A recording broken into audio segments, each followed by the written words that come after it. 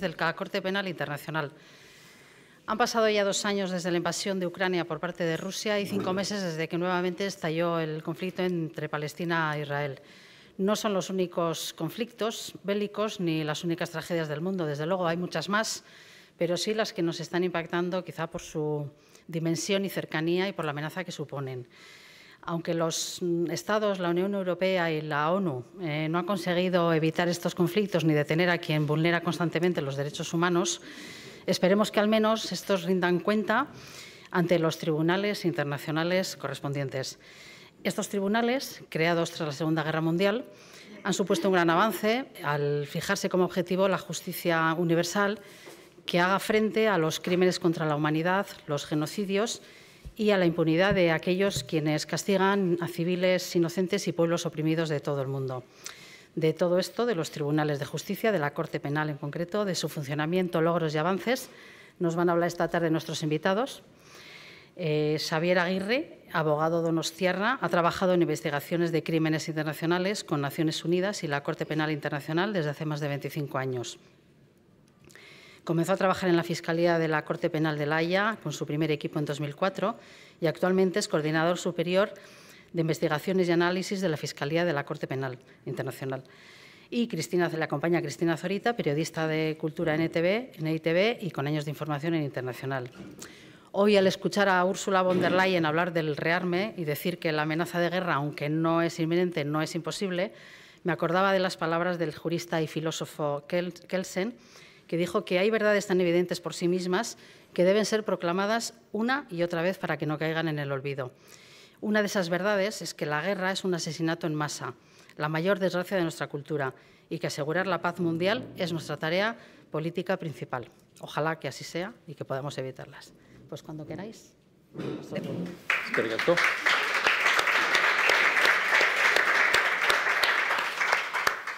Yo voy a mencionar alguna cosa más. Bueno, antes que nada, es Caricasco Santelmo por eh, aceptar la propuesta de hablar de crímenes eh, contra la humanidad, de crímenes de guerra y demás, mm, con Xavier Aguirre Aramburu.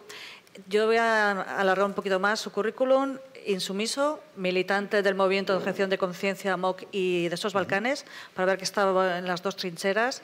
Pertenece al Consejo Editorial de la Editorial de Textos Legales a ver si lo pronuncio bien, Terxel eh, Opsal Academic y Publisher. Perfecto. Y él mismo ha escrito el libro Yugoslavia y los ejércitos. Como decía ella, ha trabajado en el Tribunal Internacional para la Antigua Yugoslavia y desde hace más de 20 años estás en la Corte Penal Internacional, lo que te ha llevado a conocer de primera mano conflictos o, violaciones de los derechos humanos en Bosnia, Darfur, Palestina, Colombia, entre otros conflictos y, eres, pues digamos, residente en La Haya desde hace 25 o 27 años, me has dicho esta mañana, ¿no? Arratsaldeon, Cristina, eta eskerrik asko gonbidapenagatik, zure idea izan zen e, e, azteko, eta eskerrik asko museoari ere, e, gustora nago hemen, askotan egon naiz museo hontan txikitatik, eta aldiro ere donostia tortzen dezenean beti nator e, museora, orduan niretzako nire plazerra da hemen e, izatea guztiekin, jakina zuen e, e, guztiekin. Se cumplen ahora exactamente 27 años desde que me fui a La Haya. Era febrero del año 1997. Y llegué a La Haya, eh, bueno, como continuación de lo que era mi vocación o, o, mis valores o mi instinto en su momento. Es decir, yo eh, soy de Donosti, evidentemente, de la parroquia de San Vicente y de jugar a pelota eh, en la Trini con mi hermano y la familia que está por ahí, pueden eh, eh, confirmar esto. y siempre tuve un interés en movimientos alternativos, me interesaba mucho el ecologismo desde el primer momento, con, con la inspiración de gente como Sabino Ormazábal que tenemos en el, en el, grupo, que para nosotros era un, referente, digamos, por los que éramos un poco más jóvenes. Eh, Sabino se acordará que teníamos un grupo ecologista que se llamaba Cachagorri y nos juntábamos aquí en uno de los polvorines de, eh, eh, de San Telmo. Luego estuvo el grupo antimilitarista de Donosti. Luego, muy importante, el movimiento de la insumisión. ¿sí? En el año 1989 organizamos la desobediencia civil contra el servicio militar obligatorio. Dijimos, bueno, basta, eh, la mili es una servidumbre inaceptable y lo necesario en este momento es una postura de principio, una postura radical, que era la desobediencia civil contra el servicio militar eh, obligatorio. En su momento había dudas con la insumisión, pero claro, nos la estábamos jugando. Justo hasta el último momento de declararnos insumisos, había gente que decía, pero ¿qué pasa si sale todo mal? Si de repente nos quedamos solos, nos llevan a la cárcel, nos pasamos años en la cárcel y no alcanzamos nada, ¿no? Y en las asambleas yo siempre decía, pues bueno, hasta aquí hemos llegado y es el momento de cerrar los ojos y saltar, porque lo que estamos haciendo es lo correcto y tenemos que tener fe que si estamos actuando con principio, porque lo correcto es desobedecer al servicio militar y lo que está en juego es la guerra y, los derechos humanos más fundamentales, el tiempo nos dará la razón.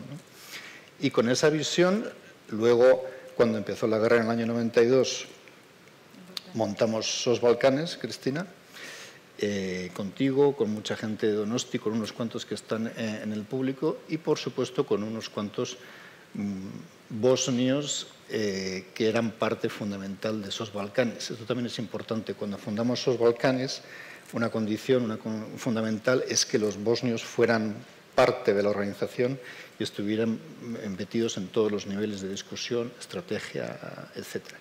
Y ahí trabajamos un montón en, esos Balcanes durante muchos años. Yo mismo me fui, me fui a la guerra, literalmente me apunté a un bombardeo. Fuimos allí a trabajar con las víctimas de la guerra eh, mientras la guerra estaba eh, activa. Lo siguiente también importante es que estaba en contacto con Guernica Gogoratuz, estábamos hablando de, Juan eh, Gutiérrez, y los amigos de Guernica Gogoratuz, Centro de Investigación de la Paz, me informaron de una oportunidad para una beca para hacer una maestría en Estados Unidos en la Universidad de Notre Dame, que está en lo que era la tierra de la nación eh, Ojibwe, Chippewa, hasta la invasión europea y a fecha de hoy es el estado de eh, Indiana. Me pasé un año en Estados Unidos y ahí, en aquel momento, había una gente que ya estaba trabajando en montar el Tribunal Internacional de Naciones Unidas para la Antigua Yugoslavia. Volví aquí, obtuve una beca del Arártico, estamos hablando del año 96. La beca se llama eh, Premio de Derechos Humanos y es una beca curiosa porque una vez que te la daban, ibas allí, hablabas con el Ártico y podías elegir el tema de investigación, curiosamente. Entonces, voy a la reunión con el Ártico, muchas gracias por la beca, y les digo, bueno, tengo varias ideas. Una era hacer una investigación sobre la insumisión, que para mí no era muy difícil porque ya lo sabía todo sobre eso. La segunda era hacer una investigación sobre la crisis del estado del bienestar, que a mí me parecía muy importante. Y la tercera, bueno, y también si queréis podemos hacer algo sobre el Tribunal de Yugoslavia. Y el artículo dice, hombre, qué interesante, interesantísimo, el Tribunal de Yugoslavia es una cosa nueva, innovadora y tal, sí, sí, sí, esto es muy interesante. Bueno, pues si os parece interesante, allá voy. Y entonces ahí hice la investigación académica sobre el tribunal establecido por Naciones Unidas para la antigua Yugoslavia. Para hacer la investigación debidamente me fui a La Haya, establecí contacto con la Fiscalía del Tribunal de la Antigua Yugoslavia y en un momento dado me sugirieron que me presentara para un puesto. Me dijeron, bueno, pero si tú ya conoces mucho el tema, has hecho cantidad de investigación y tal y cual, tú podrías ser un buen analista, podrías trabajar eh, con nosotros.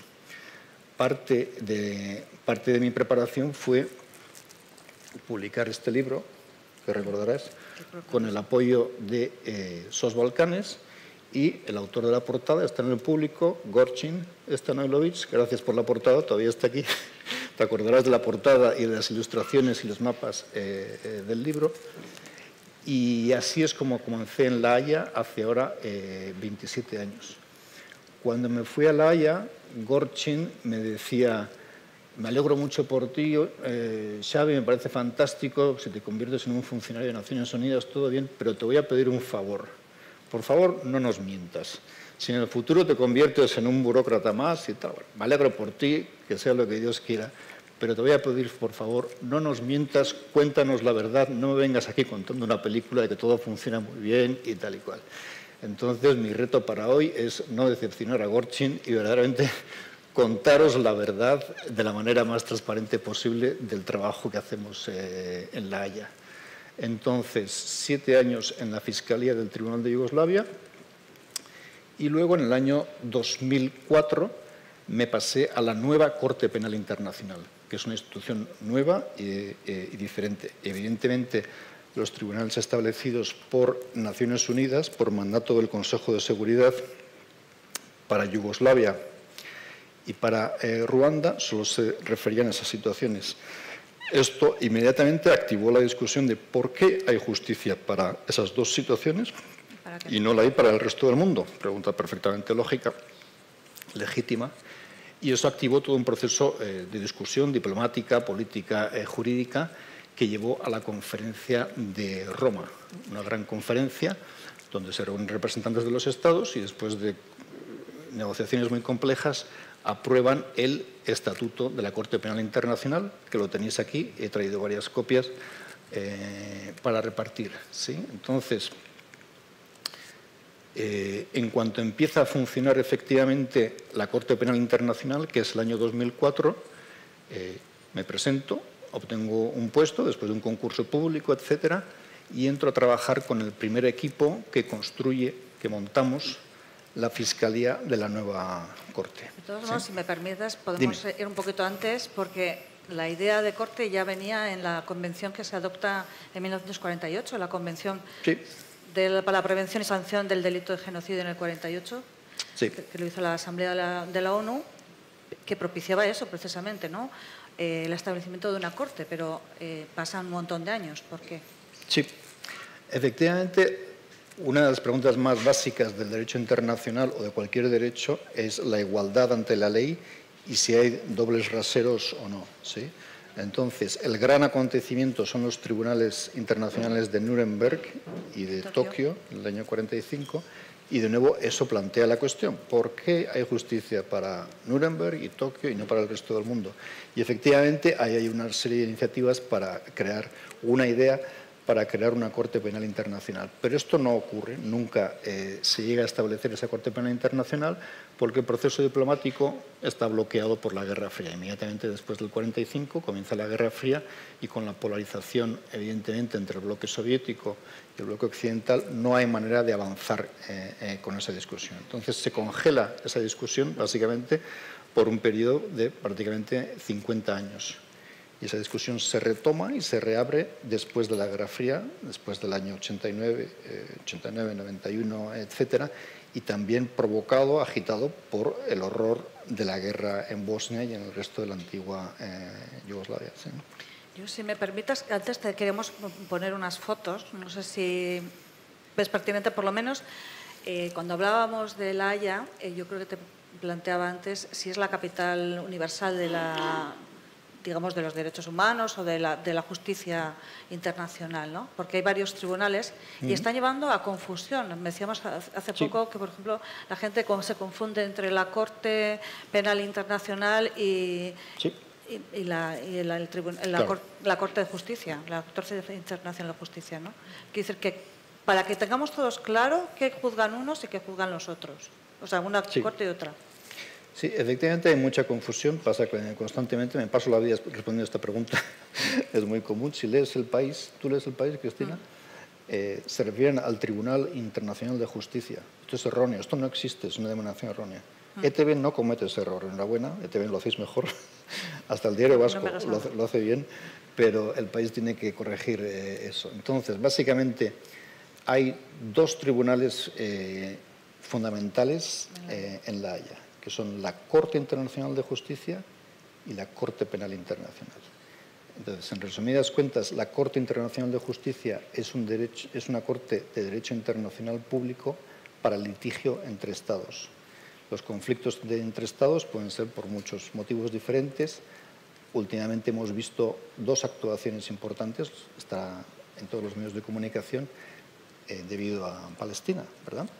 Eh, una es una actuación bajo la Convención mm, contra el Genocidio del año 1948 y la otra eh, promovida por Sudáfrica, ¿verdad?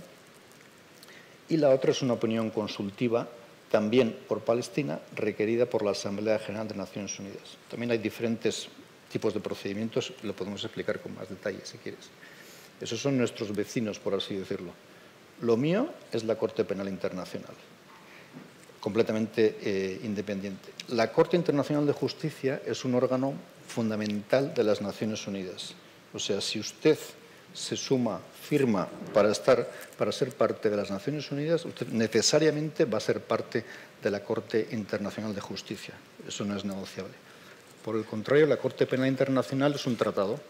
Es un tratado que un Estado libremente, soberanamente, puede decidir firmar o no firmar y atenerse o no eh, a esa jurisdicción.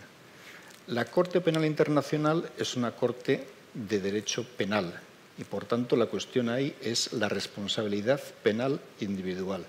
Es una apelación a la responsabilidad de cada persona, de cada ser humano, de respetar a la ley, respetar los derechos humanos y comportarse según los requerimientos del derecho eh, internacional. Si hay una decisión condenatoria, digamos, adversa en la Corte Internacional de Justicia, eso eh, eh, crea una, obligación para un Estado. Si hay una condena en nuestra Corte, en la mía, la Corte Penal Internacional, eso genera una condena típicamente de cárcel, eh, etcétera, como lo es en un sistema eh, penal nacional. Muy, brevemente, esa es la creo que viene bien aclarar. O sea, entonces, eh, antes más o menos has dicho que cuándo surge y cómo surge la, Corte Penal Internacional y por qué surge. Bueno, más o menos hemos estado hablando de, eh, un poco, pero ¿cómo y cuándo surge la Corte Penal Internacional? Sí, bueno, es lo que decíamos, ¿no? Básicamente, en la, perspectiva histórica, el elemento clave es el fin de la, de la Guerra ah, Fría y efectivamente, tristemente, los conflictos en Ruanda y en la antigua Yugoslavia. Eso es lo que genera ese, debate y de manera relativamente rápida, para lo que son las cosas en la diplomacia internacional, llegamos al año 98, la conferencia de Roma y la aprobación del estatuto. La conferencia de Roma fue un proceso extremadamente complejo porque, claro está, si se invita a todos los estados del mundo eh, a participar y también a representantes de la sociedad civil, pues ahí evidentemente va a haber muchas opiniones eh, muy diferentes. Como en cualquier conferencia de este tipo, había opiniones muy progresistas, típicamente representadas por organizaciones de derechos humanos, que querían dar la máxima protección posible, las normas más avanzadas posibles, y había opiniones muy conservadoras que querían hacer lo mínimo indispensable para quedar bien, poco más o menos. Pero bueno, eso es parte de una negociación eh, diplomática no estaba claro que se iba a alcanzar un consenso y un estatuto hasta el último momento, una negociación muy intensa y en el último momento del último día al final se acuerda un, texto de, consenso y se aprueba el estatuto de la Corte Penal eh, Internacional. Entonces el estatuto básicamente es una codificación de ramas del derecho que ya existían. El estatuto comprende cuatro crímenes que son crimen de guerra, crimen de lesa humanidad, crimen de genocidio y crimen de agresión. Cada uno viene de, digamos, de momentos históricos y de procesos eh, diferentes y el ejercicio del estatuto es eh, codificar todo eso en un solo texto. Tenemos copias del estatuto eh, aquí para repartir. eso es lo que se alcanza en el año 98. Ahora, eso, como, os decía, se basa en la decisión soberana de cada Estado de sumarse o no al régimen de la Corte Penal eh, Internacional. Entonces, el siguiente reto era conseguir un número de ratificaciones suficientes para que la, para que la Corte pudiera empezar a trabajar verdaderamente. Y eso se alcanza en el año 2002. Eh, a fecha de hoy, 123 estados han decidido ratificar la Corte Penal Internacional. Hay 123 estados parte. Y el último Estado que ha ratificado es el Estado de Armenia. ¿sí? Entonces, grosso modo, lo que tenemos es toda Europa ha ratificado, todos los Estados eh, europeos. Y Europa jugó un papel muy importante, muy activo en las negociaciones, en la promoción, etcétera. Se convirtió como un tema mm, fundamental para la diplomacia europea promover la Corte Penal eh, Internacional. Latinoamérica, toda Latinoamérica ha ratificado, con la excepción de Cuba y Nicaragua. ¿Sí? Cuando hablo con, diplomáticos o con, juristas cubanos, siempre les digo, hombre, tenéis algo en común por fin con los Estados Unidos. Los dos estáis en contra del Acuerdo Penal Internacional por los mismos motivos, porque reclamáis que vuestra soberanía nacional es más importante que el derecho internacional. Bueno, vosotros veréis. Eh, aproximadamente la mitad de los estados africanos han, ratificado y en Asia hay, si no me equivoco, 17 estados, incluyendo Afganistán, Japón, Corea del Sur, eh, Filipinas, eh, etc. Entonces, es la mayoría de los estados del mundo, pero aproximadamente quizá la mitad de la población. Es decir, hay estados muy grandes que no han ratificado el Estatuto de la Corte Penal eh, Internacional. Luego, volvemos a los que no han, porque hay algunos muy destacados además. alguno que otro. Alguno que, como decías tú alguna vez, eh, no vienen ni se les espera, ¿no? o sea que, yo no sé, em, vamos a hablar de los crímenes primero, pero eh, ¿cuál es la pena máxima? ¿Se valora la pena capital o...? No, desde luego la pena capital no es una opción. Evidentemente, el Estatuto está inspirado por principios del debido proceso, del respeto al debido proceso y, eh, principios de derechos humanos. ¿sí? Hay un capítulo entero del Estatuto, el capítulo tercero, que es Principios Generales del Derecho. Y ahí se garantiza, evidentemente, para empezar, la presunción de inocencia, eh, la comunicación eh, de la prueba, el principio de legalidad, no puede haber castigos si no ha habido eh, un crimen codificado eh, previamente, etc. Y en ese contexto, desde luego, la pena de muerte está descartada y también está descartado el juicio en ausencia, lo cual es buena noticia para el debido proceso, si quieres, como una garantía, pero muy mala noticia para la Fiscalía y para la Corte, porque ahí es donde falla, eh, es el eslabón más eh, frágil eh, de la cadena. Porque no tenéis una fuerza de orden, no podéis detener, sino que tenéis que basaros en lo que hacen los Estados parte, ¿verdad? Exactamente, sí. A ver, lo nuestro es una investigación penal, ¿sí? no es un mero informe de derechos humanos o un ejercicio académico tenemos una responsabilidad muy grande porque el derecho penal puede conllevar a una detención, a una condena y a poner a una persona en la cárcel por muchos años. Evidentemente, eso es una cosa muy seria. Tenemos que recabar la prueba nosotros directamente. Nuestros investigadores van a donde tengan que ir y recaban prueba genuina, auténtica, de primera mano, verificada y registrada debidamente para presentarla eh, en juicio. No vale con que tengas una idea, lo que tú pienses que ha ocurrido, eso no es suficiente. Además de tener una comprensión correcta de lo que ha ocurrido, tienes que tener los medios de prueba suficientes y, auténticos para presentarlos ante los jueces y probarlos. O sea, tenemos que hacer la investigación como lo, haría un cuerpo de investigación nacional, con todo rigor y con todo el trabajo enorme que eso conlleva. ¿sí?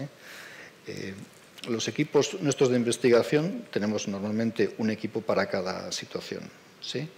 Hemos abierto investigaciones en 17 situaciones eh, diferentes. ¿Situación se refiere a, casos o a estados? O... Sí. Situación es el término que se utiliza en la práctica de Consejo de Seguridad. Lo llaman así, situación, y se refiere típicamente a un conflicto. ¿sí? Y luego, dentro de cada situación hay casos cualquier cantidad de casos según avancen las, eh, investigaciones. Entonces hemos abierto 17 situaciones, desde las primeras en Uganda, en la República Democrática del Congo, en Darfur, eh, en Sudán, etc. En el periodo inicial hubo mucho trabajo eh, en África, hasta las más recientes que son Palestina, eh, Ucrania y Venezuela. Por cierto, que toda esta información es de dominio público, cualquiera de vosotros lo puede ver en la página eh, nuestra, eh, por supuesto. Entonces, em, sí, yo trabajo en investigaciones, ¿sí? yo soy coordinador superior de investigaciones y mi trabajo es organizar todo lo que sea necesario para recabar de manera eficaz la prueba y también analizarla, porque muchas veces recabar la prueba puede ser lo más fácil, lo verdaderamente complicado es eh, resumir, entender y procesar un universo gigante de datos, de testimonios, de imágenes, de vídeos, eh, etc. Y ese es el trabajo eh, del análisis. Podemos volver un poco a los crímenes para que tengamos todos claro, por ejemplo, qué es crimen de lesa humanidad y la mayoría sabremos, pero crimen de guerra y crimen de lesa humanidad. O sea, un poquito ¿Cuáles son las diferencias eh, principales? Sí, bueno, vamos a ver. El crimen de guerra eh, está eh, definido desde hace siglos en diferentes formatos, pero bueno, el crimen de guerra en el concepto contemporáneo viene a partir del trabajo de la Cruz Roja Internacional en el siglo XIX. Se establece la Cruz Roja Internacional que típicamente trabaja en dos niveles, uno humanitario y el otro jurídico. Ellos promueven las convenciones de Ginebra. La versión actual de las convenciones de Ginebra es del año 1949, después de la Segunda Guerra Mundial. Y los crímenes de guerra comprenden eh, dos tradiciones. Digamos, la de Ginebra, típicamente con la Cruz Roja Internacional, que define el crimen en torno a la persona protegida, y las personas protegidas son los prisioneros o heridos o civiles. Las cuatro convenciones de Ginebra de 1949. Esa es la rama, digamos, de Ginebra y luego está la rama de La Haya. Hubo una serie de convenciones en La Haya a finales del siglo XIX, principios del siglo XX, y ahí el concepto era regular o prohibir ciertas eh, conductas, como el uso de armas prohibidas, eh, de gases eh, venenosos, etcétera, el ataque a poblaciones civiles, etcétera. Era un concepto un poco diferente, en torno a persona protegida o en torno a conducta prohibida. Y todo eso, de nuevo, se codifica en el, se reúne y se codifica en el, en el estatuto. Entonces, para que haya un crimen de guerra, para empezar tiene que haber una guerra, obviamente. Eh, en la mayoría de las investigaciones que hemos abierto, efectivamente hay una guerra y hay, crímenes de guerra, pero en algunas no. Por ejemplo, la investigación que abrimos en Kenia no había, no había guerra, lo que había era unos actos de violencia, más bien como unos linchamientos a gran escala como resultado de unas elecciones. Eso sería más bien una excepción. Eh, en la investigación que hemos abierto en Filipinas, por ejemplo, tampoco hay un conflicto armado. ¿sí? Eh, por lo tanto, si no hay guerra, no puede haber. Eh, pero es el de Duarte contra, la, contra, ¿no? contra eh, las drogas, ¿no? contra la guerra de, contra las drogas, digamos, de cierta manera. Exactamente. Ahí tienes un caso claro de crimen de Estado. Muchos de los crímenes que investigamos son crímenes de Estado, otros no, otros son crímenes de grupos armados insurgentes contra el Estado. Y en otros ni se sabe si es un Estado o no es un Estado porque hay que pensar que nosotros estamos acostumbrados a la presencia del aparato del Estado en, muchas esferas de la vida, pero hay muchos lugares del mundo donde el Estado realmente no existe. Está quebrado, no está disponible, es muy, muy débil, etcétera, con lo cual hablar de Estado o no Estado no, no, explica mucho. Pero sí, en el caso de Filipinas lo ocurrido es que eh, la máxima autoridad del Estado dicta públicamente, de manera pública, flagrante, eh, abierta, una política para asesinar a traficantes de droga. Y esta política resulta en miles y miles de asesinatos. Eh, bueno, eso también es parte de la investigación y es un ejemplo, efectivamente, de una situación de la mayor gravedad eh, sin que haya un conflicto armado. Em, Crímenes de guerra, el crimen de lesa humanidad es una construcción jurídica que viene de los juicios de Nuremberg. ¿sí?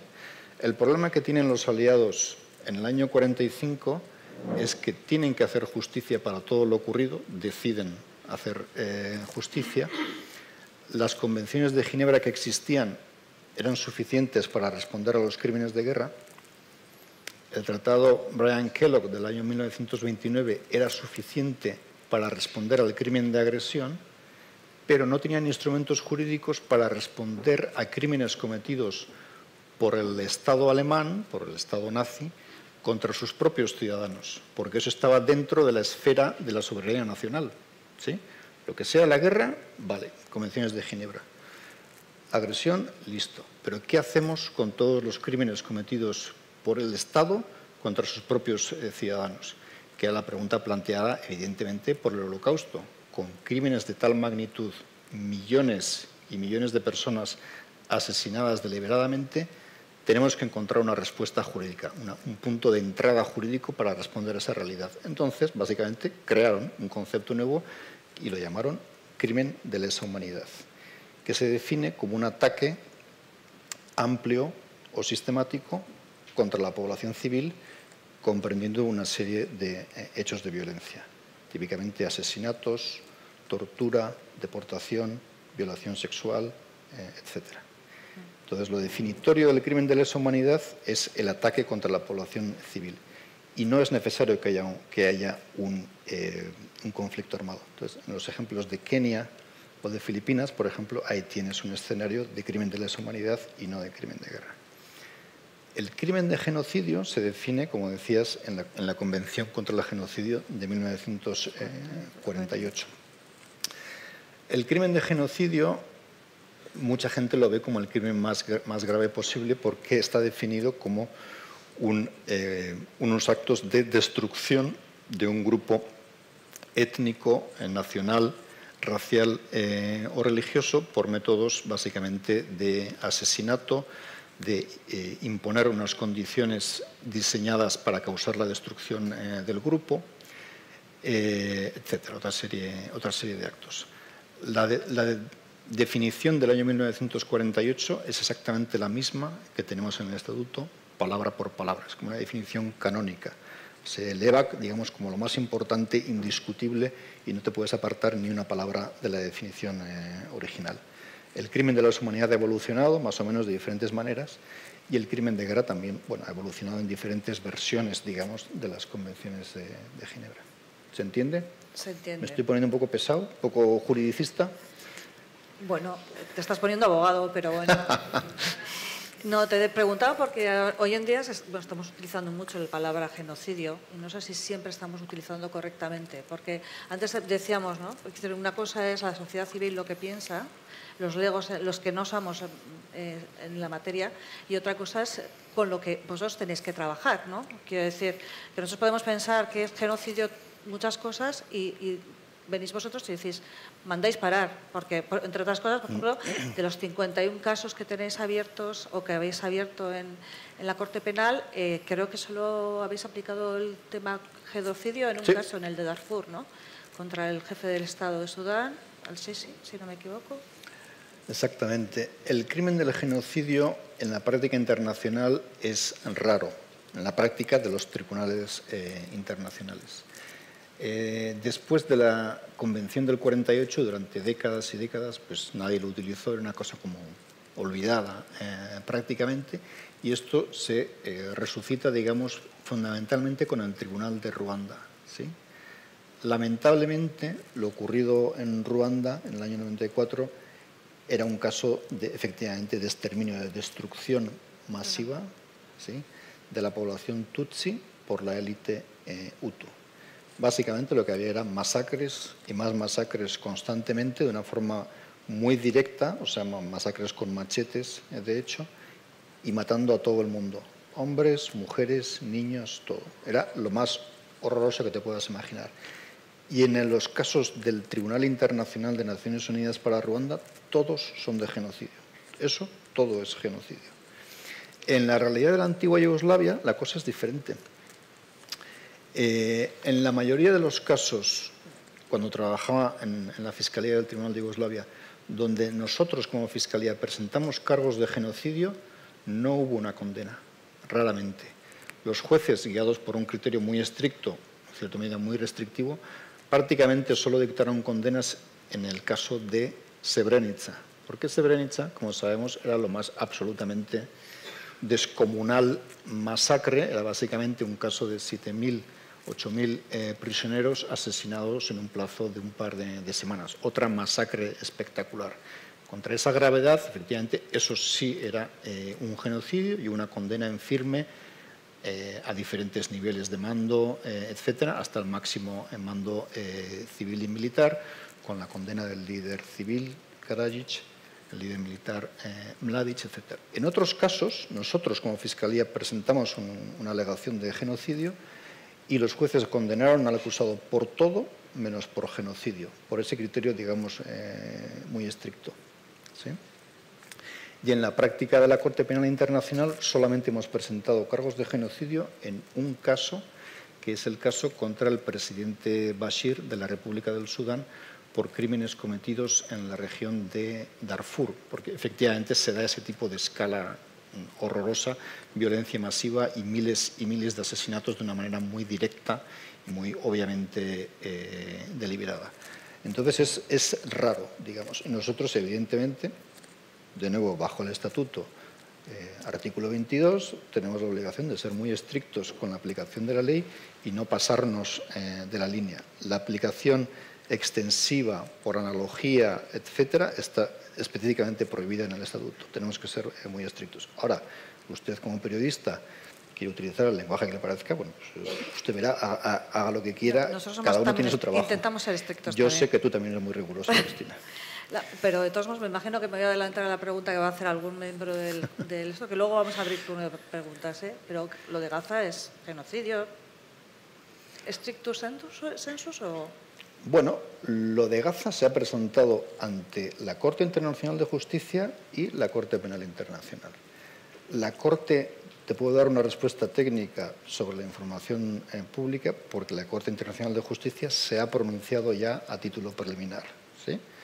Sudáfrica planteó la alegación. Sudáfrica dice, esto es un genocidio. Actuamos bajo la Convención del Genocidio, por favor, pronúnciense, señores jueces. La Corte Nacional de Justicia, por cierto, trabajó de manera muy rápida y muy diligente.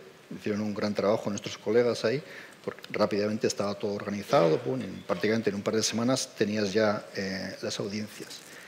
Y, eh, claro, a priori no se sabía, porque esto es muy raro, como digo, no es muy frecuente eh, este procedimiento. el equipo sudafricano hizo un trabajo muy bueno, un, trabajo muy fino jurídicamente, el equipo de Israel también, porque tienen juristas eh, eh, muy buenos, y como debe de ser, a priori no sabes qué van a decidir eh, los jueces, ¿verdad? Mucha gente era escéptica, ¿no? En los días anteriores de, la decisión la gente, la gente empezaba a hacer una quiniela, ¿sí? Y decía, hombre, 15 jueces, este es de Estados Unidos, el otro del Líbano, el tercero de Alemania, lo que sea. Ah, bueno, pues entonces, si este va por aquí, igual sale como 7 a 8 o 5 a 9, tal, va a quedar así, tal. Había todo tipo de especulación. Porque la gente más desconfiada, hay mucha gente muy desconfiada en el mundo, comprensible, pensaba que los jueces de la Corte Internacional de Justicia seguían órdenes de los estados. Y esto no es cierto, como se manifestó eh, en la decisión. ¿sí? Eh, bueno, había varios comentaristas que empezaron a hacer la quiniela completamente errónea. Fue un momento, si quieres, de orgullo para el derecho internacional, porque los jueces, por práctica unanimidad, creo que fueron 15, todos apoyaron, tomaron la misma decisión de manera independiente y la respuesta fue positiva a título preliminar. ¿sí? En ese procedimiento se solicitan medidas preliminares, que es una medida de urgencia para detener el curso eh, del, supuesto eh, genocidio y las medidas preliminares se dictan con un nivel de prueba relativamente bajo. ¿sí? La pregunta es si parece que hay un genocidio o esto es plausible. Y la respuesta que dieron los jueces es sí, esto parece ser, que puede ser, es plausible que sea un genocidio. Esto es una decisión monumental, eh, es enorme. Y bueno, Ahí estuvieron todos los jueces de muchos países diferentes, cada uno por su cuenta, todos dando esa respuesta eh, coherente ahí. Entonces, se han pronunciado a ese título preliminar, la respuesta final todavía está por ver, es un proceso que puede llevar bastante tiempo, puede llevar eh, años, y ahí habrá oportunidades de participación de los diferentes estados, veremos quién, eh, quién eh, participa, y ahí para la respuesta final hay un estándar, digamos, un nivel de prueba mucho más elevado. Tienes que estar mucho más seguro de lo que dices, digamos, un nivel de certeza mucho mayor. Mucho mayor. Entonces, la pregunta más rigurosa, digamos, se responderá más adelante. Pero, por ejemplo, si alguien acusa de genocidio a Netanyahu y le pide a la Corte Internacional, eh, al Corte Penal Internacional, está complicado el, tema, eh, lo podrían, se podría hacer, quiero decir, ¿no? que sería plausible que, que alguien pidiera ese... Eh, bueno, no es que sea plausible, esto ya ha ocurrido. Mucha gente nos plantea esto, nos, nos, alega. Es que lo que quería preguntar es precisamente quién pone en marcha una investigación, quién pide que, investiguéis. Sí, sí, sí. Bueno, vamos por partes. Bajo el estatuto, la investigación puede iniciarse por una petición, una remisión de un Estado parte, por una remisión del Consejo de Seguridad o por iniciativa previa eh, propia del, eh, fiscal. ¿sí? Hemos tenido remisiones, o sea, actuando a petición del Consejo de Seguridad en dos situaciones, que son Darfur y Libia. Darfur y Libia no son estados parte, normalmente no tendríamos eh, jurisdicción, un punto eh, de entrada, excepcionalmente si la tuvimos porque nos lo pidió el Consejo de Seguridad.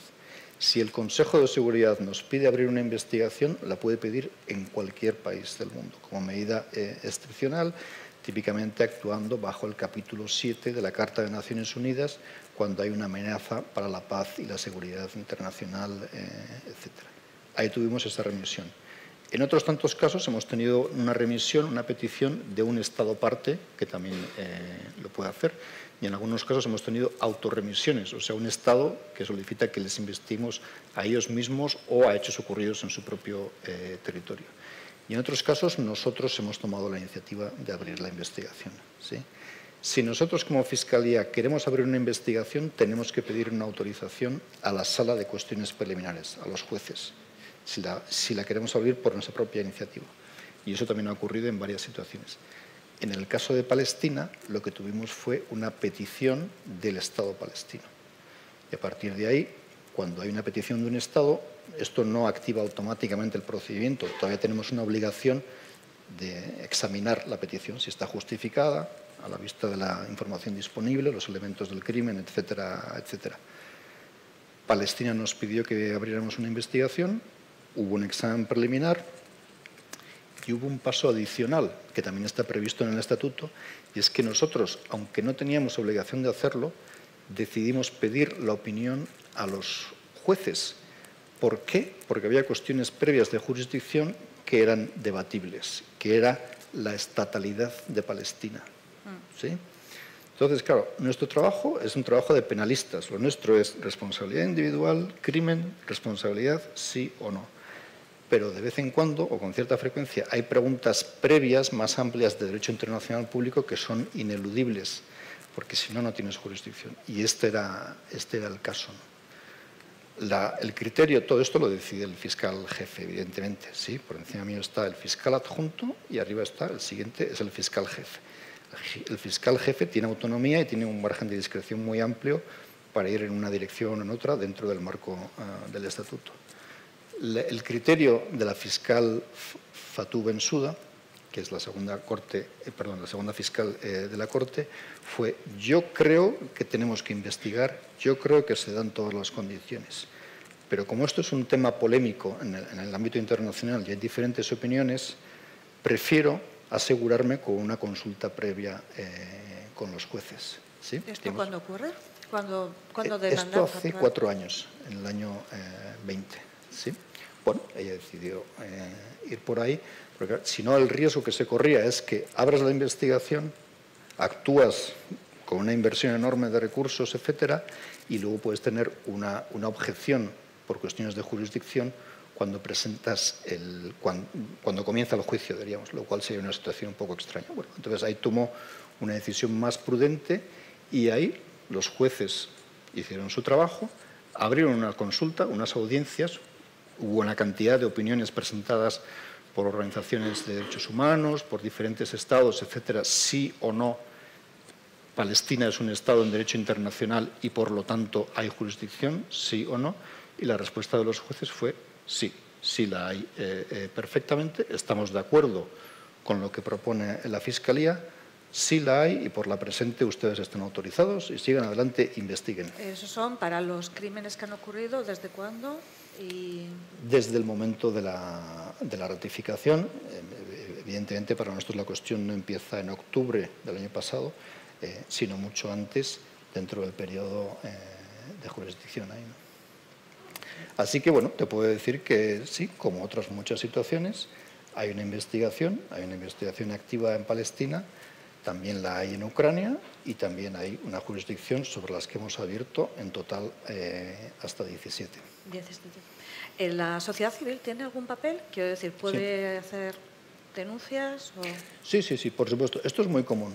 Eh, por supuesto, cualquiera, cualquiera de ustedes puede eh, contactar a la Fiscalía, enviar un correo electrónico con la información que les parezca oportuna. Esto pasó eh, constantemente. El día 24 de febrero del año 2022 a las 5 de la mañana empieza la invasión de Rusia en Ucrania. Era un jueves. Yo llego ese jueves a la oficina y de repente me empieza a sonar el teléfono constantemente, un montón de llamadas. ¿Qué está pasando aquí? Y resulta que había habido un error en el sistema de, comunicación y me habían enviado todas las llamadas que normalmente llegan a la línea pública de información por un error, en fin, accidental, ¿no? Y efectivamente empiezo a, llevar, empiezo a recibir llamadas de todo el mundo, de gente que estaba horrorizada con lo que estaba pasando en Ucrania y estaba ofreciéndonos eh, de todo oiga, que yo conozco una víctima, oiga, que yo conozco tal y tal suceso, no sé qué y tal. ¿Pero qué está pasando? Hasta que me di cuenta que, era un error, entonces tuve que llamar al Departamento de Comunicaciones para que corrigieran eh, esto. Y fue muy interesante porque veía ¿no? el, el, influjo, la llegada de cantidad de información masiva y también ves la cantidad de comunicaciones que son completamente irrelevantes. Entre un montón de comunicaciones de gente que nos quería ayudar de buena fe con, Ucrania, había un señor que llamaba y decía, oiga, el vecino del quinto me odia. Y, creo que todo el vecindario me odia y están conspirando para asesinarme. Bueno, pues perdón, pero esto no es asunto mío. Eh, esto también pasa mucho. Hay todo tipo de información. Nuestro fiscal actual es el tercer fiscal eh, de la Corte, el señor Karim Han, empezó en junio del año 2021 y una de sus prioridades ha sido actualizar el sistema informático, una serie de herramientas informáticas de todo tipo, etc. Entonces tenemos un portal para recibir información de gente de todo el mundo que ahora se ha actualizado, se ha modernizado básicamente y con ese portal de entrada cualquier persona en cualquier lugar del mundo puede enviar una comunicación y además puede adjuntar cualquier fichero, fotografías, vídeo, texto, eh, lo que sea. Y eso es muy activo, ahí entra cantidad eh, de información. Eh, afortunadamente, y luego toda una serie de herramientas, evidentemente, de revisión, de clasificación, de explotación de esos contenidos, eh, etc. Así es que, bueno, cualquier ciudadano del mundo puede contactarnos y enviar la, información pertinente. Vamos eh, a terminar, bueno, a terminar de este, este, este de, la Fiscalía, porque, mm, bueno, por lo que se ve es muy importante la labor de la Fiscalía, que creo que son los fiscales jefes, son como los jueces, eh, sus eh, años de, ejercicio son de nueve años, ¿no? Eh, sí, eso está previsto en el Estatuto. Como os decía, en las, en las negociaciones para, para adoptar el Estatuto en el año 98 había diferentes temas muy delicados y una cuestión fundamental era cuánto poder dar al fiscal. ¿sí? Porque si el fiscal no tiene poder suficiente, esto no va a avanzar de ninguna manera. Pero si tiene demasiado poder, también es peligroso y muchos hombres de Estado, diríamos, se sienten amenazados con un fiscal que puede ser demasiado fuerte. Entonces hay todo tipo de negociaciones muy complejas. Y una de las garantías para dar más poder y más autonomía el fiscal es darle un mandato muy extenso. Y efectivamente se acordó que el mandato puede ser hasta nueve años. Y así es, es un mandato muy, muy largo, verdaderamente. ¿no? No, es tan, no es muy común en una institución internacional que tengas un, mandato tan eh, largo. Entonces, el primer fiscal, eh, Luis Moreno Campo, de Argentina, estuvo los primeros nueve años. La segunda fue Fatou Bensouda, de Gambia y el tercero es eh, Karim Khan eh, del Reino Unido. primero, el de que, era el responsable, que era el fiscal adjunto del, del, caso de las juntas en Argentina. Efectivamente, el mismo. Tú que eres aficionada al cine, habrás, visto la película. Sí, Argentina 1985. Sí, sí, sí. Es una película muy buena para él porque él ayudó a redactar el guion, sí. Vale. vamos a, no, quería preguntarte si la personalidad y el recorrido de cada fiscal Em, digamos que direcciona, la no sé si la, dirección que va a tomar la Corte, pero sé que puede... Sí, sí efectivamente, eh, es lo que se llama un órgano unipersonal, es la oficina del fiscal. Como te digo, dentro del estatuto la Fiscalía tiene mucha autonomía y el, eh, el señor, señora fiscal, efectivamente puede tomar muchas decisiones discrecionales de organización, de reclutamiento, en el ámbito de acusaciones, invertir más en la situación A o B o C eh, o la que fuera, priorizar, etcétera. De hecho, tiene, eh, tiene mucho poder, ¿sí? Y sí, por supuesto, las inclinaciones, digamos, las preferencias de un otro fiscal puede afectar eh, a todo eso. Lo que pasa que, como te digo, bueno, desde luego que todos los fiscales son fiscales de carrera, son profesionales con muchos años de experiencia y toda su, en fin, todo su trabajo es aplicar el estatuto y si no lo hacen bien se la juegan. Son también gente muy consciente de su reputación y no quieren eh, arruinar su reputación por una actuación arbitraria o por una investigación que no esté bien hecha, etcétera. Hay mucha presión y hay digamos, esa observación, ese mecanismo de control que lleva a los fiscales a comportarse de manera responsable. ¿sí? Lo digo porque la nueva incorporación, la que están analizando, que además creo que os interesa a los dos, son los crímenes ambientales, que creo que estáis analizando, la posibilidad de, incluirlos entre los crímenes. Sí, claro. Los crímenes ambientales se podrían investigar ya directamente bajo una u otra categoría, desde luego como una categoría, por ejemplo, de crímenes de lesa humanidad, siempre que se cumplan los requisitos. Si hubiera un desastre medioambiental que impacta masivamente en la población civil y se cumplen los requisitos del estatuto, se podría investigar eh, inmediatamente. Sin embargo, hay un esfuerzo para codificar específicamente el crimen ambiental dentro del estatuto. Esto no existe hoy en el estatuto, pero hay una serie de gente que está trabajando en esto y que quiere eh, recoger esto de manera específica. O sea, estrictamente hablando, no es necesario crear un crimen específico, pero si se crea, pues esto puede, en fin, darle más visibilidad y más eh, actuación. volvemos a, a la Asamblea de Estados Parte, porque son los que financian, si no me equivoco. Sí, por supuesto. Porque no sois parte de, las Naciones Unidas. No, es una institución asociada al régimen de Naciones eh, Unidas, pero independiente contrariamente a la Corte Internacional de Justicia, que, como te digo, su estatuto es un anexo a la Carta de Naciones Unidas. ¿sí? Mm. Lo nuestro tiene eh, otra independencia. Y antes decías quiénes estaban, pero llama mucho la atención quiénes no están, entre ellos tres miembros permanentes del Consejo de las Naciones Unidas. Sí, efectivamente. De los cinco miembros permanentes, solo dos han ratificado, que son los europeos, el Reino Unido y Francia. Estados Unidos Rusia y China no han ratificado y que yo sepa no tienen plan de ratificar. Digo porque eh, el crimen de, agresión, por ejemplo, necesita que sea, digamos, la propia del Consejo. Quiero decir que hasta qué punto no limita ese... Sí. Bueno, para el crimen de agresión necesitaríamos una charla entera, pero muy, muy brevemente eh, te daré mi opinión a título personal, sin representar a nadie. Aquí te has olvidado de decir. Que sí, se me olvidó decir. Eh, luego lo tenía y, lo iba a retomar, pero ya nos hemos puesto. Te he dicho, por favor. Eh, hablando a título estrictamente personal y sin representar a nadie, la situación es penosa con respecto al crimen de agresión. Es decir, para empezar, en el año 98 los estados se pusieron de acuerdo para codificar crímenes de guerra, crímenes de deshumanidad y genocidio tenían previsto prohibir el crimen de agresión, pero no fueron capaces de ponerse de acuerdo.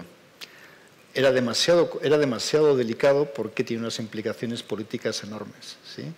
El crimen de agresión se entiende que por definición es un crimen de Estado, es un crimen que solamente las altas autoridades del Estado pueden cometer. ¿sí?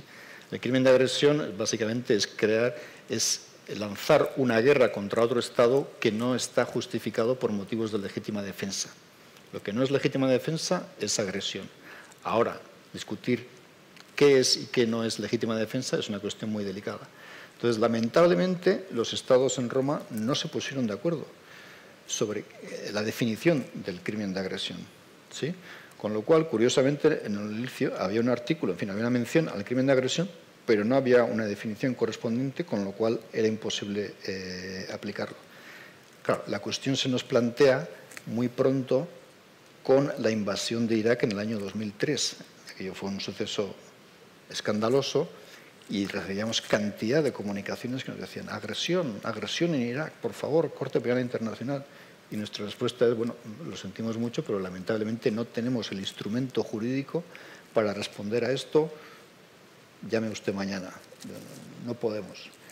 Nosotros, evidentemente, como trabajadores de la justicia, nosotros no creamos la ley. La ley la crea el legislador. El trabajador de la justicia trabaja con las herramientas que le da eh, el legislador y no teníamos la herramienta correcta, la herramienta necesaria para trabajar sobre el crimen de, agresión.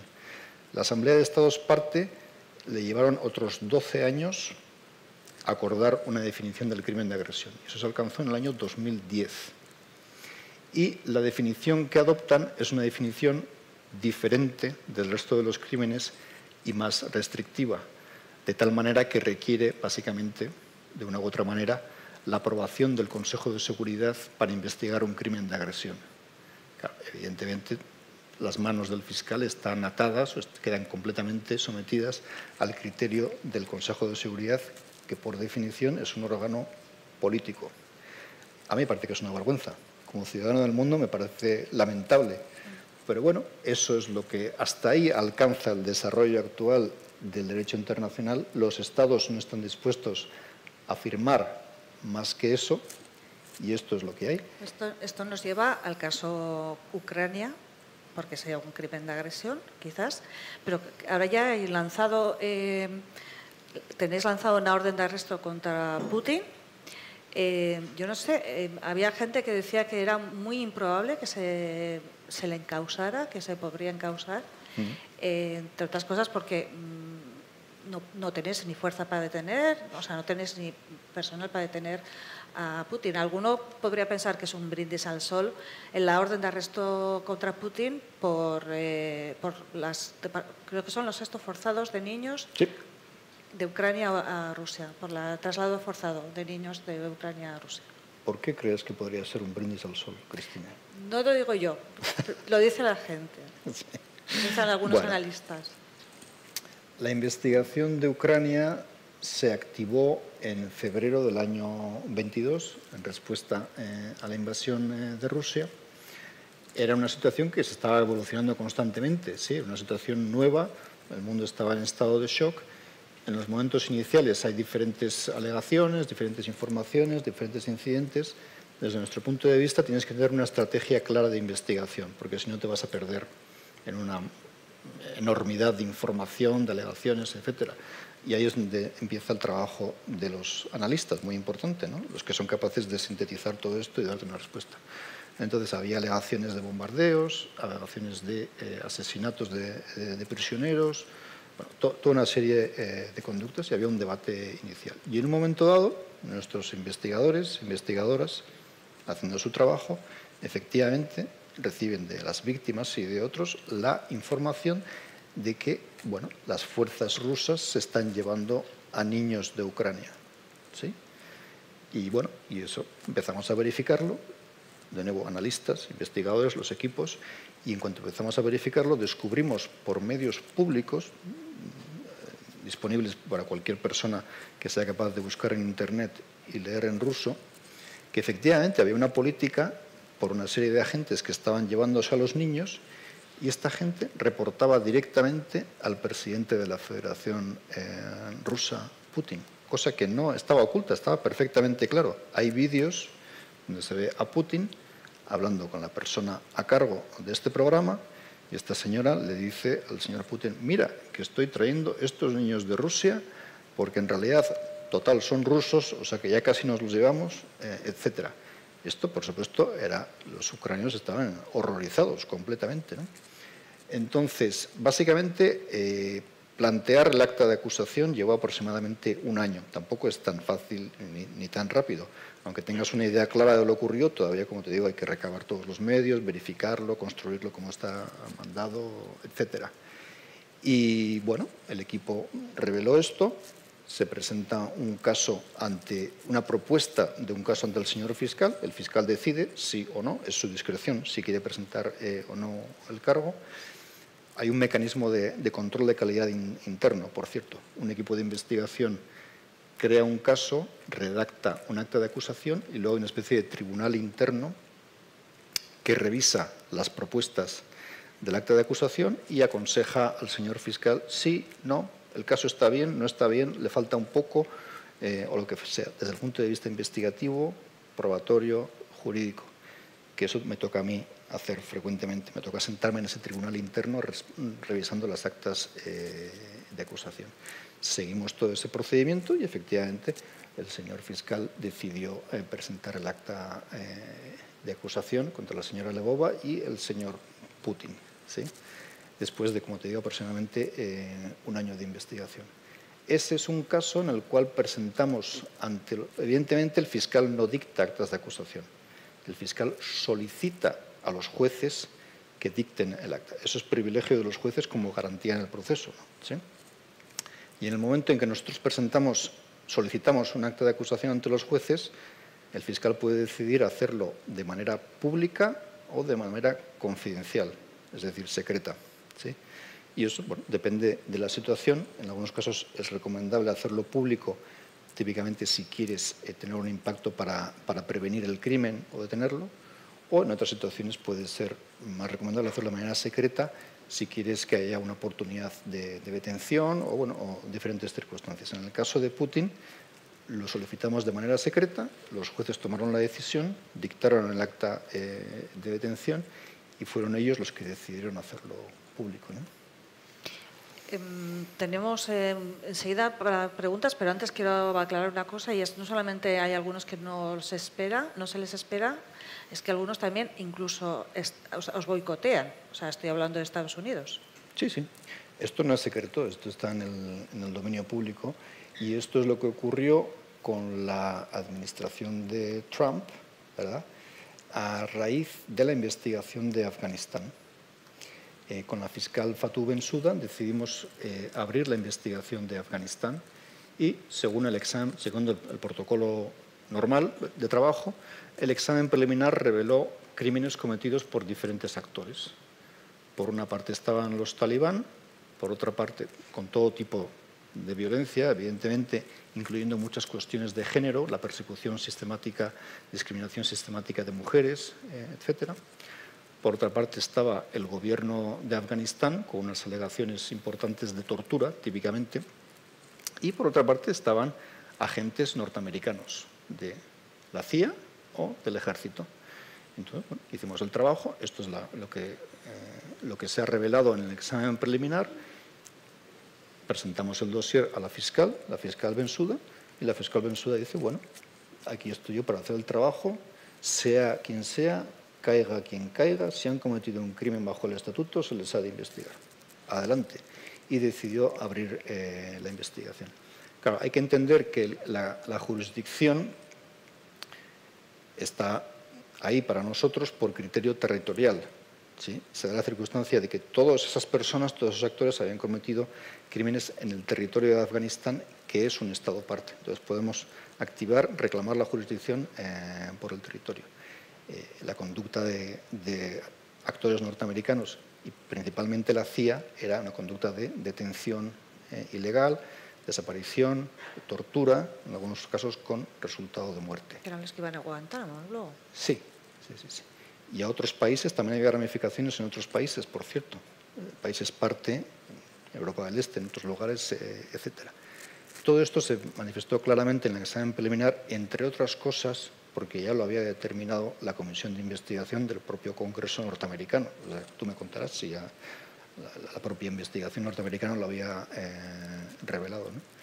Y efectivamente esto llevó al gobierno norteamericano a dictar unas sanciones individualizadas, individuales, contra la fiscal Fatou Bensouda y contra dos compañeros más eh, de la Fiscalía con nombres y apellidos. Se hizo público y les incluyeron en la lista de personas eh, sancionadas contra todo tipo, paradójicamente, todo tipo de criminales de guerra, terroristas, corruptos, narcotraficantes y también tres funcionarios de la Corte Penal Internacional. Esto es una situación, fue una situación muy complicada, como te puedes eh, imaginar. Afortunadamente, la Asamblea de Estados parte vino en nuestro apoyo completo, hubo una declaración unánima del máximo nivel diciendo esto es inaceptable, esto es absolutamente absurdo e inaceptable que la señora fiscal jefe de la Corte Nacional esté acusada, sancionada eh, por este motivo y aquí reafirmamos todo el apoyo necesario para la Corte, etc.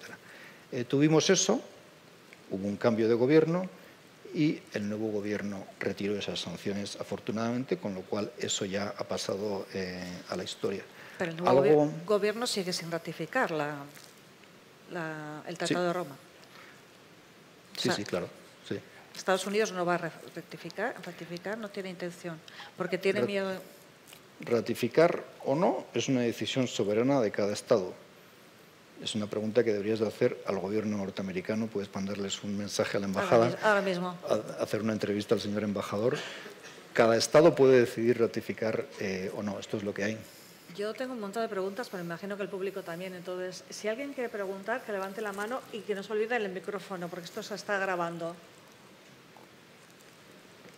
Sí, ¿Cómo andamos de tiempo? Media hora, ¿no? Sí, las fotos que al final, mientras deciden... Ah, mira.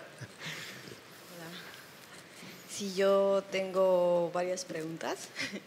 En principio, si la denuncia de los hechos sigue su curso tradicional, si este se, se hace ante la Fiscalía o ante la Corte Penal Internacional, y em, este, cuáles son las formas de, de, realizarla, si se tiene que hacer mediante eh, envío de un escrito físico, si te puedes presentar y hacerlo de manera oral, eh, si lo puedes hacer por llamada, porque creo que en algún momento mencionaste algo de las llamadas telefónicas, eh, o si lo puedes hacer por email. Esas, esas son las primeras preguntas. Sí. Y la, la otra es, eh, a la Corte Penal Internacional entonces le concierne conocer de las situaciones estipuladas en los cuatro convenios de Ginebra y sus dos protocolos. Eh, siempre y cuando esos estados hayan suscrito, ratificado y a su vez reconocido la jurisdicción de la misma. Sí. Voy a poner de pie, si me permites. ¿Quieres pasarle una copia del...? Aquí está la respuesta. Se ha ganado una copia del estatuto por una, por, por una pregunta muy pertinente. Eh, la primera pregunta es cómo comunicar con la Corte. Muy sencillo, es lo que, lo que os decía. Tenemos una página web pública y hay una sección que es comunicaciones. Usted abre la sección y ahí puede enviar texto, email, ficheros, lo que sea. Ahí entra y ahí nuestra sección de, de procesamiento de prueba y la sección de exámenes preliminares eh, dará curso eh, a la comunicación. Entonces, esto es perfectamente sencillo, cualquier persona lo puede hacer y, como decía, recibimos desde comunicaciones frívolas completamente irrelevantes hasta comunicaciones muy serias, muy elaboradas, por organizaciones muy serias o por estados que han elaborado todo un dossier perfectamente documentado, con cientos de ficheros, en fin, etcétera. Hay todo tipo eh, de comunicaciones, pero eso es eh, sencillo. Y la segunda pregunta es lo que les decía. En última instancia, para la actuación de la Corte Penal Internacional, el dato más fundamental es la ratificación de un Estado. Si un Estado decide ser parte de la Corte Penal, Penal Internacional o no. Y a fecha de hoy han decidido ser parte 123 Estados, que no está mal, es mucho respaldo. ¿no? ¿Alguna pregunta más? Lo primero, sí, lo primero agradecer la presentación que ha sido muy clara y muy didáctica. ¿Y se puede considerar tanto el tribunal como la Corte Penal elementos de la gobernanza mundial? ¿Entrarían ahí si la sí. gobernanza mundial existiese o avanzase? ¿Serían elementos clave? Sí, por supuesto que sí. Hombre, con respecto a la Corte Internacional de Justicia, como decíamos, ese es el concepto. El estatuto es un anexo de la propia Carta de las Naciones Unidas. Cuando los aliados y el resto deciden establecer las Naciones Unidas, introducen el elemento judicial como elemento fundamental del orden internacional. ¿sí? Con la Corte Penal Internacional, como decíamos, el régimen es un poco diferente, pero en última instancia la aldea global necesita justicia global. En la medida, y esto es lo que se explica en el preámbulo del estatuto, posiblemente la parte mejor redactada de todo el estatuto, se lee como un poema, ¿sí?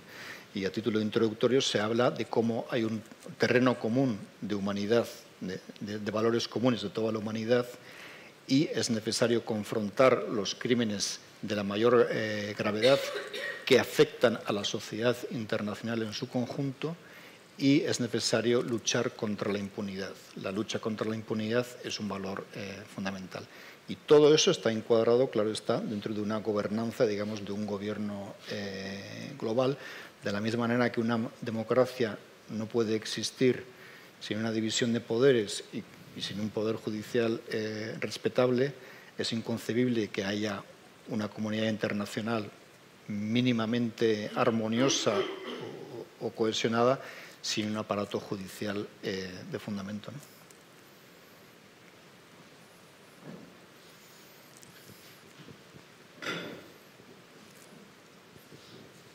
Pues eh, encantado de volver a verte después de veintitantos años, Javi. Y solo he echado de menos en tu semblanza que no mencionaras un librito que sacaste en el año 99 en la editorial Iralca, titulado La verdad sobre España, del doctor Goebbels, con una magnífica introducción eh, que se titulaba Goebbels en el país de San Ignacio o una cosa así. Entonces, eh, solo quería mencionar eso para el público por si no conocían este... Una, una este cuña de publicidad para la editorial Iralca. No exactamente, sino porque estabas editando a un dirigente nazi y Sí. entonces eh, estaba claro que había que dar algunas explicaciones al respecto.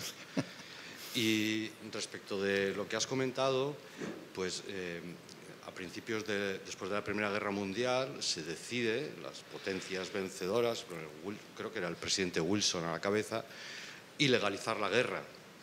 Sí. Entonces, eh, y por lo tanto, que la guerra en sí misma sea un- una abominación de, de la humanidad. Correcto. Frente a tesis anteriores, donde lo que se establecía era en qué casos había una guerra justa. Es decir, Correcto. hemos renunciado al concepto de guerra justa para sustituirlo por eh, la guerra como algo absolutamente ilegal. De ahí los problemas que tienen para definir la agresión y todo el rollo este. Y, y de ahí los prole- y las justificaciones que tiene Putin respecto de Ucrania diciendo, eh, eliminando la dimensión de guerra del conflicto y, la pro- y el propio Netanyahu diciendo que eso no es exactamente una guerra, sino una lucha antiterrorista y cosas de este estilo. Es decir, que no quieren mentar la bicha porque saben lo que se les viene encima. ¿vale? Entonces, eh, digamos, eh, no sé hasta qué punto podemos seguir utilizando la palabra guerra cuando es lo ilegal o lo alegal o lo co- como queramos y hasta qué punto podemos quizás sustituirlo por el viejo concepto de guerra justa y en qué casos se hay derecho a establecer, eh, a, a- a declarar la guerra. Es decir, ya, ya no se puede declarar la guerra. Esto- esta cosa que pasaba con- Pearl Harbor, ¿no? que a los americanos les, les fastidiaba mucho que los japoneses hubieran atacado sin declarar la guerra, es decir, sin un acto formal y jurídico, porque, porque el derecho sirve, sirve para muchas cosas, sirve, o ya ha servido, sirve para proteger a los inocentes y castigar a los culpables, pero ha servido también para declarar la guerra, es decir, que era un acto jurídico. Es decir, y, la, guerra es cultura, la, guerra es una abominación, evidentemente, pero es un acto de cultura como muy pocos, es decir, con unas, con, con- unas disquisiciones y, unos, mm, eh, y- y unas mm, exploraciones especulativas y, y- y di- dificilísimas de seguir, pero que, que ha- que han servido para que el pensamiento jurídico progrese, eh, como tú sabes, mejor que nadie. Gracias. Bueno, por transparencia, como está mandado, Fran es un viejo amigo, doctor en filosofía, Manu eh, Sorazu, director de la editorial eh, Iralca, amigos a los que estoy muy agradecidos porque yo aprendí mucho de ellos allá por los años eh, 90. Yo estudiaba Derecho, ellos estudiaban Filosofía, ellos se reían de mi activismo con una actitud cínica de, hiena nihilista, como, solía decir. Yo me reía de su filosofía y nos lo pasábamos muy bien y aprendimos mucho eh, mientras tanto. Y con una pregunta de esa enjundia, en fin, Fran se ha ganado no el estatuto, sino también un folleto adicional, por favor. Eh, enhor- enhorabuena. Este, no, eh, la observación histórica es absolutamente correcta. Es decir, después, eh, la posguerra de la Primera Guerra Mundial y de la Segunda Guerra Mundial es muy diferente. Después de la Primera Guerra Mundial, la impresión es que no hay vencedores y vencidos, sino que todo ha sido un desastre absoluto. Y la reacción a eso es, efectivamente, prohibir la guerra. Es decir, la Primera Guerra Mundial nos lleva al Tratado de 1929 de eh, prohibición de la guerra como instrumento de política nacional. Así está eh, recogido. Que, por cierto, luego se recoge en la Constitución de la República Española, en 1931. Exactamente esa formulación. Prohibición de la guerra como instrumento de política nacional. Ahora, después de la Segunda Guerra Mundial, el resultado es muy diferente. No hay esa sensación de que no ha habido vencedores y vencidos. La sensación, la percepción es que había un problema fundamental que era el fascismo Y lamentablemente la única manera de combatir el fascismo fue a través de la guerra. Y eso nos da ese resultado, en mi opinión personal, sin representar a nadie, lamentable, porque yo estoy de acuerdo con lo que, con lo que dices, eh, Fran. La idea de prohibición de la guerra, en cierto modo, sí está recogida en la Carta de Naciones Unidas, pero no de la misma manera tan firme y tan clara como estaba en el Tratado Brian Kellogg de 1929. Efectivamente, el resultado es muy diferente. Entonces, eh, esto, es un problema, eh, digamos.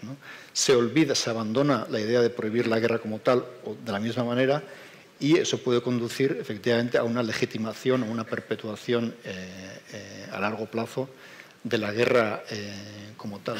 Esto lo ha dicho mucha gente. ¿sí? Un caso claro es el caso del fiscal Benjamin Ferencz, que era uno de los fiscales en, en Nuremberg. ¿sí? Él hizo el trabajo de Nuremberg, inmediatamente cuando terminó en Nuremberg dijo, todo esto está muy bien, pero lo verdaderamente importante es prohibir la guerra y que no haya guerra. Y este señor se dedicó el resto de su vida a hacer exactamente eso. Todo tipo de actividades, publicaciones, seminarios, lo que haga falta para intentar eh, prohibir la guerra. Eh, estamos de acuerdo con eso, pero falta mucho, falta mucho recorrido eh, para avanzar en esa dirección. También hay tipos de guerra que son tan inherentemente criminales que prohibir el crimen de guerra conlleva ineludiblemente hacer imposible la guerra misma. ¿sí? Hay diferentes eh, escenarios ahí. Pero estoy esencialmente de acuerdo con lo que dices, como de costumbre, Fran. No sé si hay alguna pregunta más. Eh, yo quería preguntarte por eh, cómo se considera el crimen de limpieza étnica porque siempre bueno, se habla del genocidio, ¿no? parece que es como el máximo, eh, máximo crimen, ¿no? pero lo estamos viendo ahora en Palestina y lo vimos en Yugoslavia, como el genocidio puede ser el medio para conseguir la limpieza étnica. Entonces, no sé cómo está considerado penalmente. No sé si me, si me explico. Sí, sí, sí, sí, claro. Eh, gracias, Irene, como no. Irene, antigua compañera, como uno de esos Balcanes, como unos cuantos más, eh, Susana y otros tantos eh, que veo por la, por la sala. Nosotros seguimos muy de cerca, ¿verdad? Todo eso en los años 90. Limpieza étnica era un término informal, no es un término jurídico, era un término que se hizo común en, el lenguaje popular, periodístico, etcétera, pero no existe como, como término tal cual, ¿no? Eh, típicamente la limpieza étnica, en, lo más mínimo, es típicamente un, crimen de lesa humanidad porque por definición está definido como la persecución de un grupo eh, étnico. Y si alcanza el nivel de gravedad, de violencia extrema, hasta el exterminio, la destrucción, etcétera, puede convertirse eh, en crimen de genocidio. Y bueno, lamentablemente se ha visto en muchos casos, en muchos países y está bajo investigación de, nuestra Fiscalía en cantidad eh, de situaciones. típicamente la combinación más violenta y más peligrosa es cuando hay elementos políticos y también hay elementos étnicos o religiosos. Es el, cóctel más, más eh, explosivo. Y esto lo hemos visto en cantidad de, situaciones. Un ejemplo sería el, ejemplo de Darfur, eh, como decíamos. ¿no? En Darfur tenías un elemento de conflicto armado, tienes básicamente la insurrección de las tribus de las naciones de Darfur contra el gobierno central eh, en Jartum, pero con un trasfondo de racismo muy fuerte, porque lo que tienes en Sudán, como en otros países en esa franja, es un conflicto histórico entre la élite árabe y la población africana, o como dicen ellos, utilizando su propia terminología, negra, negros, ellos eh, lo dicen así en lenguaje eh, coloquial. Es decir, lo que le resultaba insoportable a, ciertas tribus, ciertos líderes de las tribus y a la élite de Jartum es que sus antiguos esclavos se rebelaran, les hicieran la guerra y tuvieran la osadía de tomar en su momento Al-Fasher, que es la capital del norte de Darfur, y al asalto, etc. Eso para ellos era una amenaza por la insurrección y además era profundamente inaceptable por su mentalidad racista, por su, eh, por su trasfondo eh, racista. Y eso lo vemos en muchos conflictos bajo, bajo investigación. Y ese tipo de situación, efectivamente, en Darfur y en otros casos, llevó al ataque sistemático de las, de las poblaciones de ciertas tribus, Darfur, Masalit, etcétera, etcétera. Hay que estudiarse la etnografía, evidentemente, de la región eh, para entenderlo. Eh, quema de las casas, expulsión masiva, masacres, eh, violaciones, etcétera, con el objetivo de expulsar sistemáticamente a esa gente. ¿sí? En el caso de Darfur y en otros tantos, tienes una dinámica de insurgencia, digamos. ¿Qué decía Mao Zedong sobre la guerrilla? Mao Zedong decía, la guerrilla ha de moverse entre el pueblo como pez en el agua, fundamental para poder sobrevivir y avanzar eh, y todo esto. Y el problema es que muchos actores del Estado, la respuesta a eso es, si es así como funcionan, lo que vamos a hacer es remover el agua, quitar el agua para matar al pez. Y entonces eso conduce a la limpieza étnica, crímenes de lesa humanidad, eh, genocidio, eh, etcétera. Cosa que vimos en las investigaciones de Guatemala, del genocidio en Guatemala en los años 80. Eh, Yo lo he discutido mucho con juristas y activistas de Guatemala, etcétera, que se ha visto en Darfur, también lo hemos visto en la investigación por los crímenes contra la minoría rojiña en, Birmania, también, ¿no? había verdaderamente había una insurrección. ¿sí? La, actuación del Estado no, sale de la nada. Hay una insurrección que está muy imbricada eh, en el pueblo por motivos genuinos de apoyo popular o porque el grupo armado decide, en fin, mezclarse como le parece, eh, etcétera, y hay una reacción del Estado contra no solamente el grupo armado, sino todo eh, lo que le rodea. Ese es un escenario muy común. Y el problema con eso es que hay un principio fundamental de derecho internacional humanitario que es el principio de distinción, obviamente, distinguir entre el civil y el combatiente. Si usted utiliza la fuerza militar contra un combatiente, eso es una guerra y eso no está prohibido.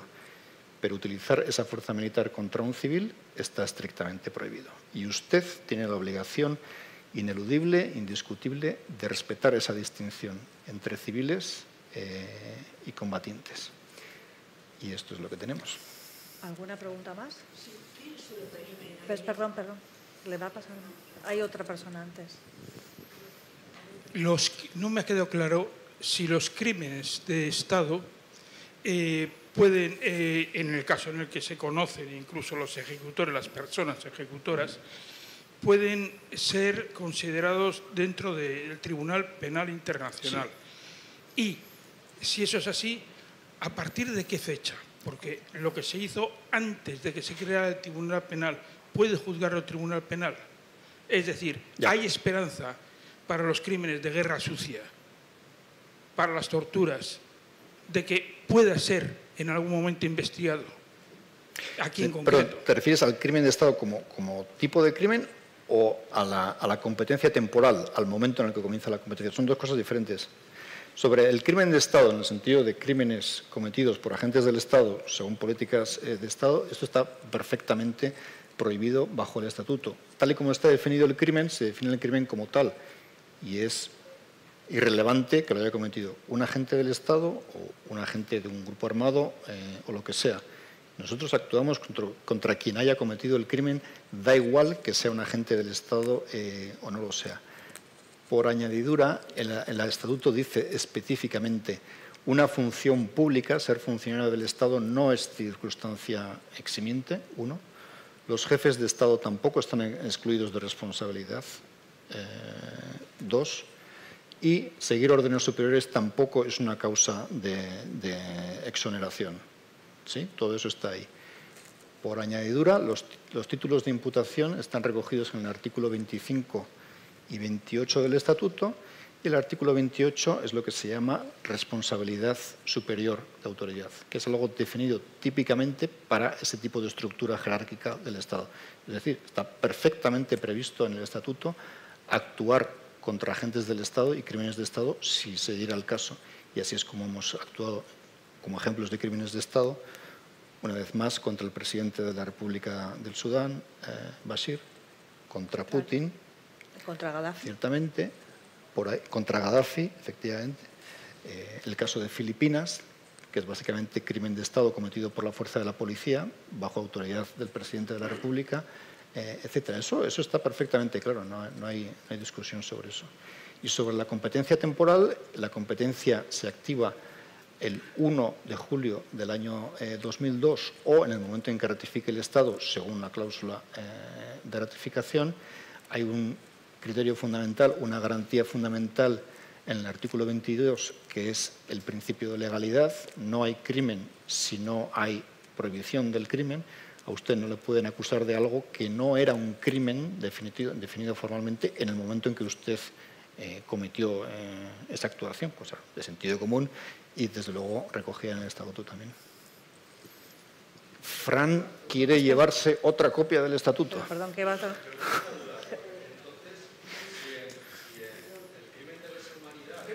Perdón, perdón, perdona, perdona un momentito, que te, va a pasar la...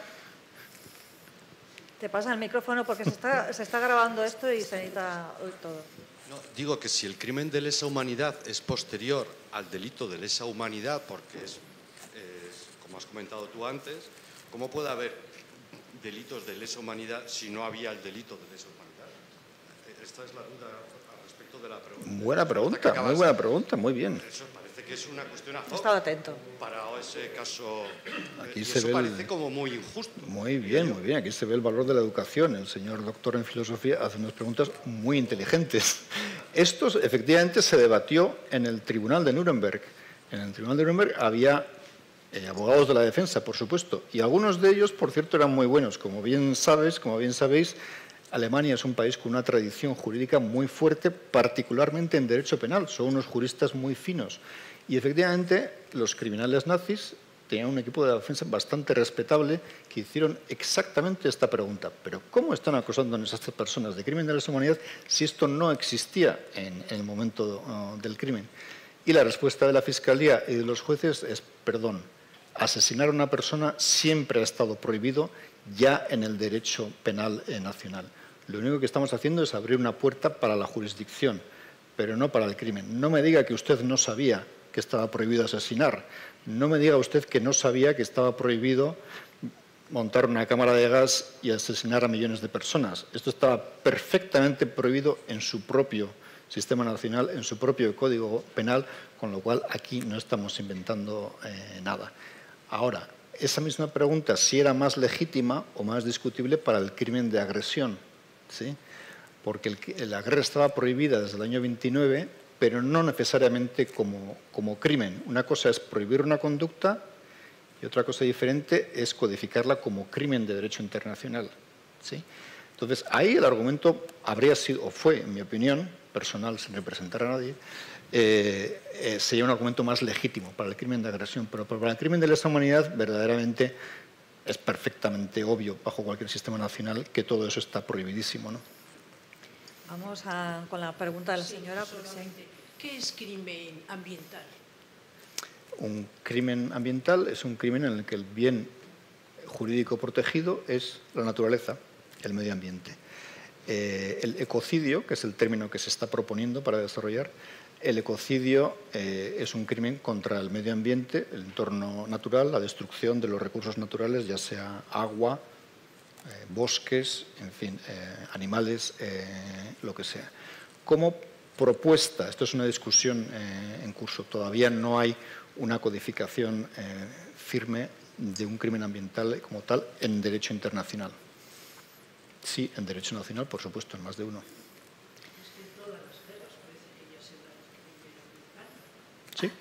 Efectivamente, esto es bastante, bastante frecuente, efectivamente, sí. Sí, lo que ahora Putin, sí, sí, sí, gracias, perdón. Que ahora Putin hoy mismo ha dicho que mucho cuidadito porque que él tiene armas nucleares y que se podría terminar con, contra la humanidad. Solamente haber dicho eso ya parece que es más que crimen o no.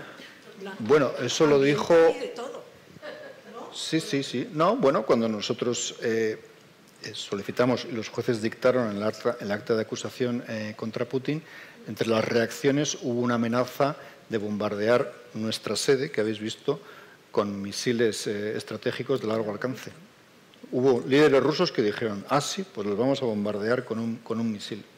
Entonces lo dijeron, hasta la fecha no ha ocurrido, toca madera, Pero sí, efectivamente, ha habido más de una declaración de líderes de alto nivel en Rusia refiriéndose al uso de misiles o de armas nucleares como respuesta a nuestra actuación. Pero bueno, eh, esto no es un oficio para cobardes, sabemos lo que lleva, estamos investigando a los sujetos y los grupos más violentos y más peligrosos del mundo. Para eso se inventó la Corte Penal Internacional. Yo, la pregunta que tenía precisamente era esa, si por ahora solo le habéis eh, encausado por el... Bueno, solo. Solo se ha reencausado a Putin por, los, eh, por, las deportaciones forzadas, porque eso se podía probar bastante fácil, como has dicho, pero ¿habría la posibilidad de volver a abrir otra causa más contra él? Si se pudiera conseguir la, evidencia. Perfectamente. No hay ningún impedimento bajo el estatuto para acusar eh, a una persona por más de un crimen, si, se da el caso y si se dan las pruebas, claro. Hay otra pregunta. Hola, quería preguntar dos preguntas. Primera es, me llamó la atención que no se ha enjuiciado todavía la Junta Militar de Birmania de Myanmar, justo en el tema de genocidio y limpieza étnica de los rohingyas, de las que nadie habla. Y esto ya pasó hace, hace años. Y la segunda pregunta es, en realidad, a ver si vamos a ver algún día posible, eh, enjuiciar también a Estados Unidos por todo lo que hicieron en Hiroshima, en Vietnam, bueno, en Afganistán habéis empezado, Irak, Siria, Libia, eh, Guantánamo, Gaza también, porque ellos han colocado al lado de Gaza su portaaviones y ellos son los que son, pues gracias a ellos, eh, eh, mandan todo el armamento y municiones, las bombas que caen y todo a Israel para que bombardee a Gaza, con lo cual son directamente implicados en todo lo que está ocurriendo allí. Nada más. Muchas gracias, Sunita Idoya. Encantado de verte después de unos años. Antiguos compañeros de esos Balcanes, por supuesto. Em, Myanmar, efectivamente, eh, en Birmania es una, es una investigación eh, en curso. Otro ejemplo de crimen de Estado, definitivamente, con una campaña de, de nuevo, contrainsurgencia, etcétera, que desencadena violencia masiva contra los civiles siguiendo la cadena de mando eh, militar. Es una investigación en curso, veremos cuál es el resultado y mientras tanto no es prudente decir mucho más. Y sobre la segunda pregunta, nada, nada nos impide eh, investigar y enjuiciar a quienes hayan cometido eh, crímenes en el territorio de Estados parte. En la situación de Palestina, Palestina es un Estado parte. Si hay ciudadanos de cualquier lugar del mundo que han cometido crímenes en el territorio de Palestina, bien puedan ser investigados eh, y enjuiciados. Es una pregunta muy común, por cierto, esta pregunta se nos está planteando eh, continuamente. Eh, la lógica de la investigación generalmente es hacerse la primera pregunta de quién ha cometido el crimen y quién ha decidido la comisión del crimen, ¿sí? Evidentemente. No nos interesa tanto el ejecutor directo, nos interesa más el autor intelectual, la persona que tomó la decisión de cometer el crimen, ¿sí?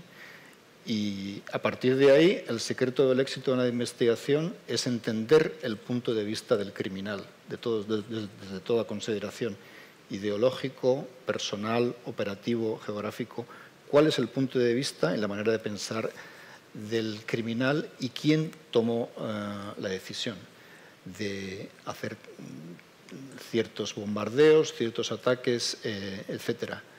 Y a partir de ahí eso se recoge bajo el artículo 25 o el artículo 28. Eh, el Estatuto de Roma comprende muchos tipos diferentes de responsabilidad. Responsabilidad directa, responsabilidad por ordenar el crimen, por incitarlo, responsabilidad compartida entre, varias personas, responsabilidad accesoria por eh, complicidad y todos esos tipos de responsabilidad están, están bajo investigación y bajo consideración bajo el estatuto en todas las situaciones. Eh, yo quería hacer un inciso antes de salir, porque creo que quería preguntar a alguien aquí.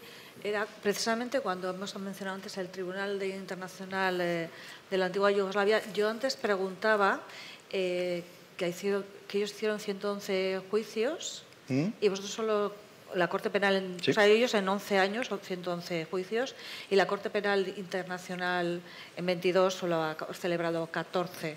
Quizás se deba a lo que antes comentabas precisamente de que vais a buscar, digamos, los instigadores o... Sí, correcto.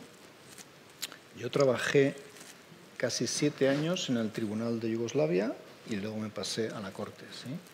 El día en que me fui, mis compañeros cortésmente me organizaron una pequeña despedida, un brindis y tal, ¿no? Y yo les dije, bueno, queridos compañeros, me voy a la Corte Penal Internacional, pero no hay ninguna garantía de que esto funcione. Por favor, guardarme ese puestito que tengo ahí, porque de repente, después de seis meses, tengo que volver al Tribunal de Yugoslavia.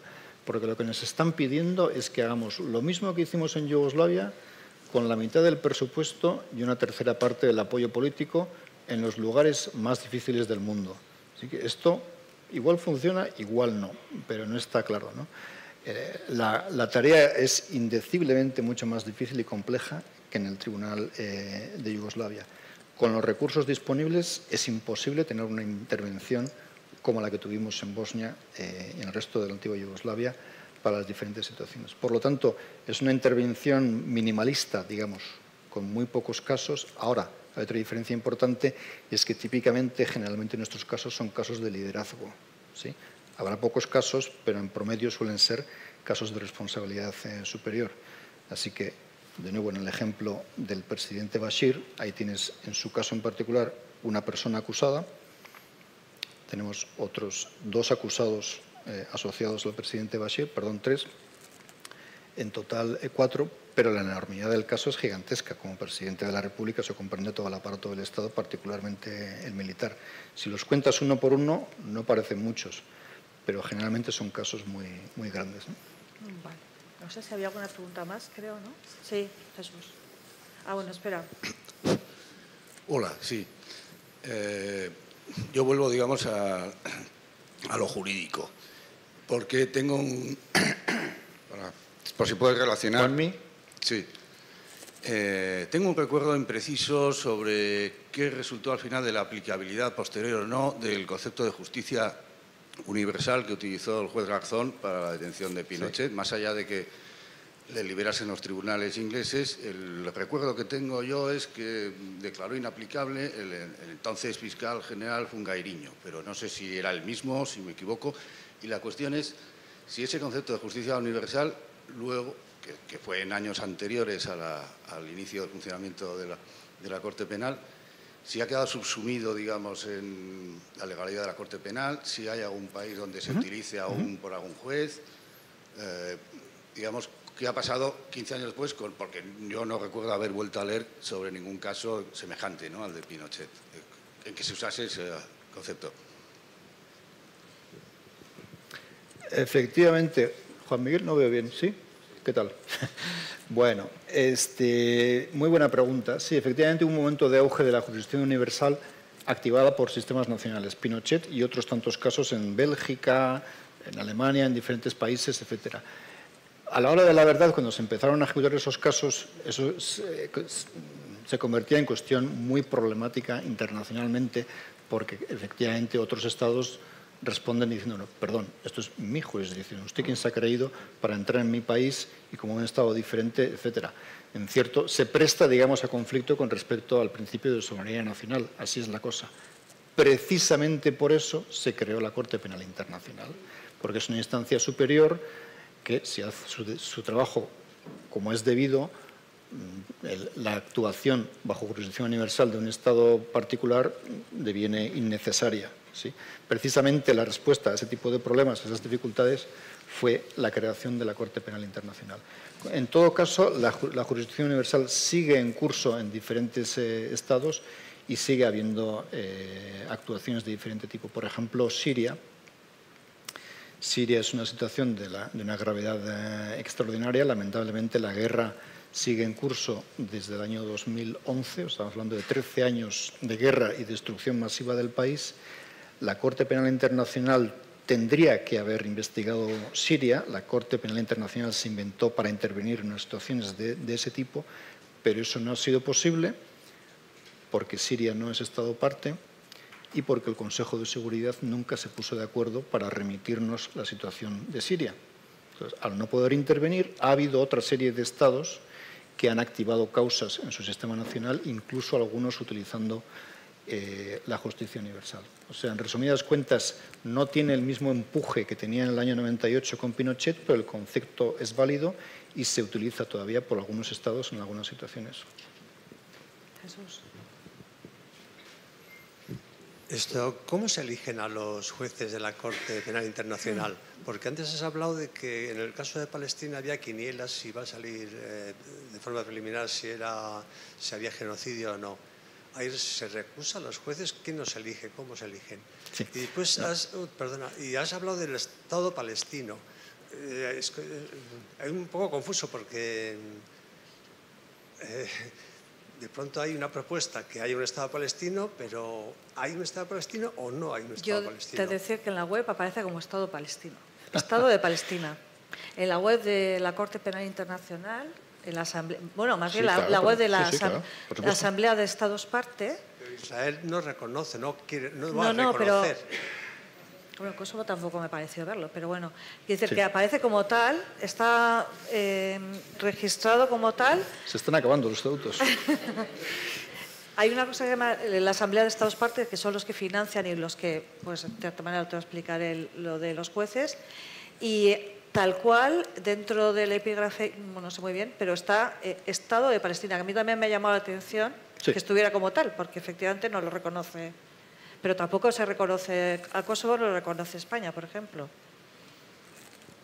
Y algunos países más, pero bueno. Bueno, primera pregunta sobre los jueces. Corrección. Lo que he dicho se refería a la Corte Internacional de Justicia, no a la nuestra. Con respecto a la Corte, en la Corte Internacional de Justicia, los jueces los elige la Asamblea General de Naciones Unidas. ¿sí? Pero siempre con un criterio de independencia, no eligen a cualquier eh, actor político, sino tiene que ser un juez de reconocido prestigio, con una garantía de formación jurídica y se espera que actúen con independencia, como lo han demostrado en esa decisión eh, reciente. Para la Corte Penal Internacional, los jueces los elige la Asamblea de Estados parte de la Corte Penal Internacional, que es una institución eh, diferente. Una vez más, todo regulado en el Estatuto y por un criterio similar. No se puede elegir a cualquiera, hay que elegir a, gente que son jueces verdaderamente eh, cualificados o, en algunos casos, también diplomáticos o expertos en derecho internacional público, porque se dan cuestiones como esta, de estatalidad de derecho internacional eh, público, de relaciones eh, internacionales. Y el Estatuto, además, también tiene un sistema de cuotas para la elección de los jueces, de manera que haya un equilibrio de género para empezar, hombres y mujeres entre los jueces, está, es obligatorio bajo el estatuto, y también equilibrio eh, regional, de manera que haya jueces de todo el mundo. se les eligen periódicamente con respecto a esas cuotas y eh, con un criterio, desde luego, de independencia eh, completa. Han de actuar de manera independiente en la aplicación del estatuto. La cuestión del Estado de Palestina bueno, pues esto es lo que, lo que decíamos. hay diferentes opiniones al respecto y por eso cuando estábamos dispuestos a abrir la investigación, la fiscal nuestra consultó con los jueces, elevó la, cuestión a los jueces. Señores jueces, ayúdenme por favor, respondan a esta pregunta. ¿Palestina es un Estado, sí o no? Y la respuesta que dieron nuestros jueces fue sí, Palestina sí es un Estado y le voy a explicar por qué porque esta es una cuestión que está regulada en derecho internacional bajo la Convención de Montevideo del año 1933. Hay una serie de criterios estipulados que son básicamente territorio, población y capacidad ejecutiva eh, del Estado. Y según estos criterios, la respuesta es positiva. Hay una consideración adicional, no es un requisito esencial, pero una consideración adicional, que es el reconocimiento del Estado por otros eh, estados del mundo. Y, por cierto, se da la circunstancia de que el Estado de Palestina ya ha sido también reconocido por muchos estados en el mundo.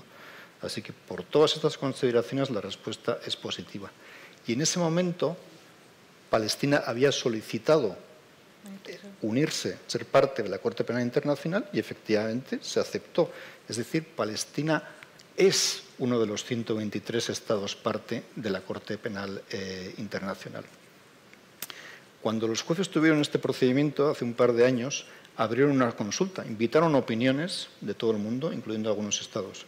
Y efectivamente hubo estados que se personaron, decidieron personarse, no tenían ninguna obligación de hacerlo, para argumentar en contra de eso. Hubo estados que dijeron, no, Palestina no es un estado porque no se dan los requisitos del, convenio de Montevideo y esto algún día en el futuro quizá puede ser un estado, pero a fecha de hoy de hecho no es eh, un estado.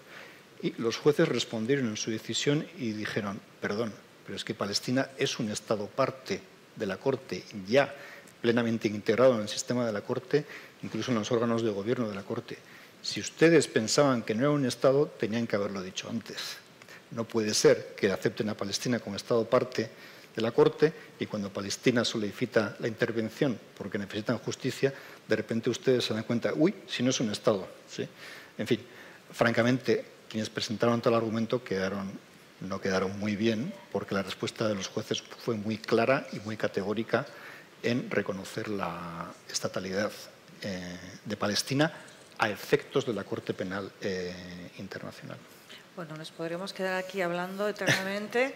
La verdad es que hay muchos temas más de, los que hablar, pero bueno, tenemos que acabar ya. Sí, nos quedamos sin ver las fotos. No sé si nos da tiempo a verlas, por lo menos, si nos explicas. no, nos ponemos a hablar y no hay manera. Sí, efectivamente. Nos explicas porque además la primera, bueno, está en la segunda, pero la primera era muy interesante. Sí, sí esta, esta se la dedico especialmente a Fran y Manu, mis tutores en materia de filosofía del derecho, porque son los que se consideran padres fundadores del derecho internacional moderno, es decir, Francisco de Vitoria y Hugo Grocio. Y lo interesante aquí es que ellos vienen de perspectivas muy diferentes. Francisco de Vitoria era un clérigo, un padre eh, dominico, y su inspiración para el derecho internacional es evidentemente cristiana, religiosa, eh, teológica y por un principio de humanidad derivado de la Biblia, de los Evangelios, él dice, bueno, hay que proteger a los civiles, hay una serie de conductas que están prohibidas, etc. Estamos hablando del siglo XVI, siglo XVII. Hugo Grocio es un señor de Delft, de Holanda, cuyo punto de partida es diferente, porque era un abogado mercantil, que trabajaba a sueldo de sus clientes y él desarrolla una teoría de por qué, en última instancia, el derecho internacional monetario es necesario para facilitar la relación entre los Estados, incluyendo la relación comercial. Su perspectiva inicial es mercantil, la suya es teológica, pero al final llegan a, la misma conclusión. Y básicamente lo que vienen a decir es lo mismo, incluyendo el principio de distinción, la protección de los civiles, eh, etcétera, etcétera. Y quería mostraros la imagen de Hugo Grocio porque ese es el motivo por el cual ahí comienza la tradición holandesa de derecho internacional y así es como llegamos a La Haya. ¿no? Hay que preguntar por qué La Haya y no cualquier otra ciudad. Pues en gran medida por la, por la tradición eh, iniciada por el señor eh, Hugo Grocio. Sí. ¿Qué tal andamos de tiempo? Sí. Bueno, muy rápido, que ya es la hora de cenar. Ah, perdón, sí, uy, esto es lo más bonito. ¿Sabéis qué es esto? Los más mayores en la sala lo sabrán, los más jóvenes no necesariamente. Pero esto es importante porque esto es exactamente en el lugar donde estamos ahora. Había este monumento que era el monumento a los caídos de Franco. Algunos lo recordarán. Yo lo recuerdo muy bien cuando jugaba a chuchupé y bote-bote con mi hermano Salvador y, otros tantos eh, en esta placita y esto estaba ahí. Esto se construyó en el año 1950 y luego se demolió. Alguien en la sala me puede ayudar, pero yo creo que se demolió bastante pronto. Puede ser con el primer ayuntamiento democrático. No duró mucho, fue demolido bastante, bastante rápido. Entonces, aquí tenemos un ejemplo de justicia selectiva, porque lo cierto es que Franco desarrolló unas investigaciones por crímenes de guerra muy rigurosas, con unos dosieres muy completos, con todo tipo de diligencias, pero había un pequeño problema, y es que solamente estaban dirigidos a un bando de la guerra y no al otro. Entonces, lo que él hizo, que se llamaba la causa general, efectivamente es un trabajo muy riguroso, pero masivamente, absolutamente selectivo, con lo cual no tiene ninguna eh, credibilidad.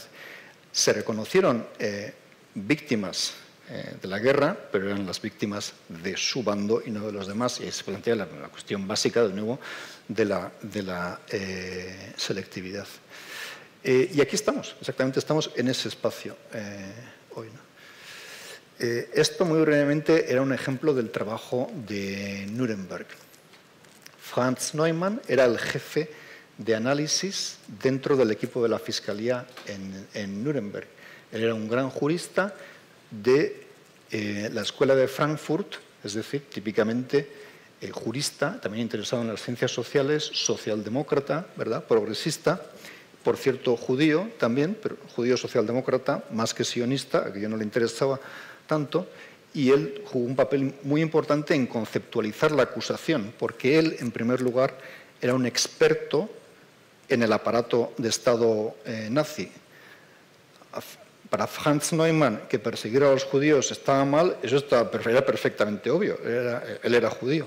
La cuestión más crítica es cómo funciona el aparato de Estado, el aparato del crimen. Y ahí publicó ese libro eh, de 300 páginas explicando eso, cómo funciona exactamente el aparato eh, nazi. Bueno, y eso es un ejemplo de, la documentación del juicio de Nuremberg porque había todo un proceso de procesamiento de documentos, habían capturado miles y miles de documentos y tenían que repasarlo uno por uno, con unas fechas, perdón, unas fichas de análisis, de ficha de análisis, donde resumen la fecha, el contenido, los nombres, etcétera, para que os hagáis una idea de lo meticuloso que tiene que ser un, trabajo de este tipo, una investigación de este tipo. Hay que procesarlo todo con la mayor exactitud, con la mayor precisión, etcétera, que es un trabajo enorme.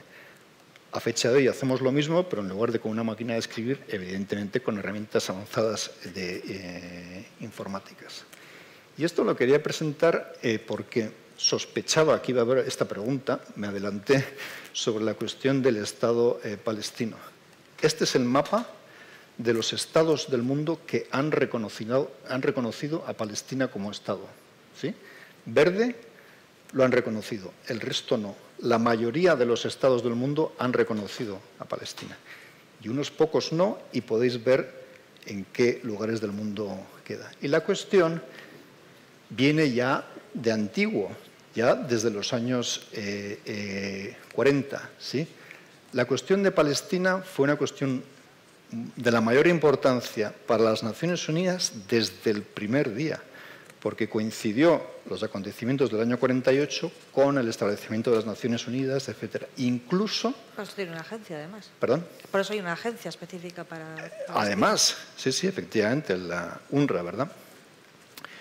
Eh, así que acompañado toda la vida de las Naciones Unidas desde el primer día la cuestión de Palestina. Cuando se negoció la Convención del Genocidio, los representantes árabes, que en aquel momento eran de Egipto y de Siria, querían introducir como una conducta típica del genocidio la deportación. ¿Por qué? Porque eso es exactamente lo que estaba ocurriendo en el año 48 eh, eh, en Palestina pero no alcanzaron a convencer al resto de los estados y ahí ves que la deportación no es parte, no es una conducta típica del genocidio, no llegó eh, a entrar ahí.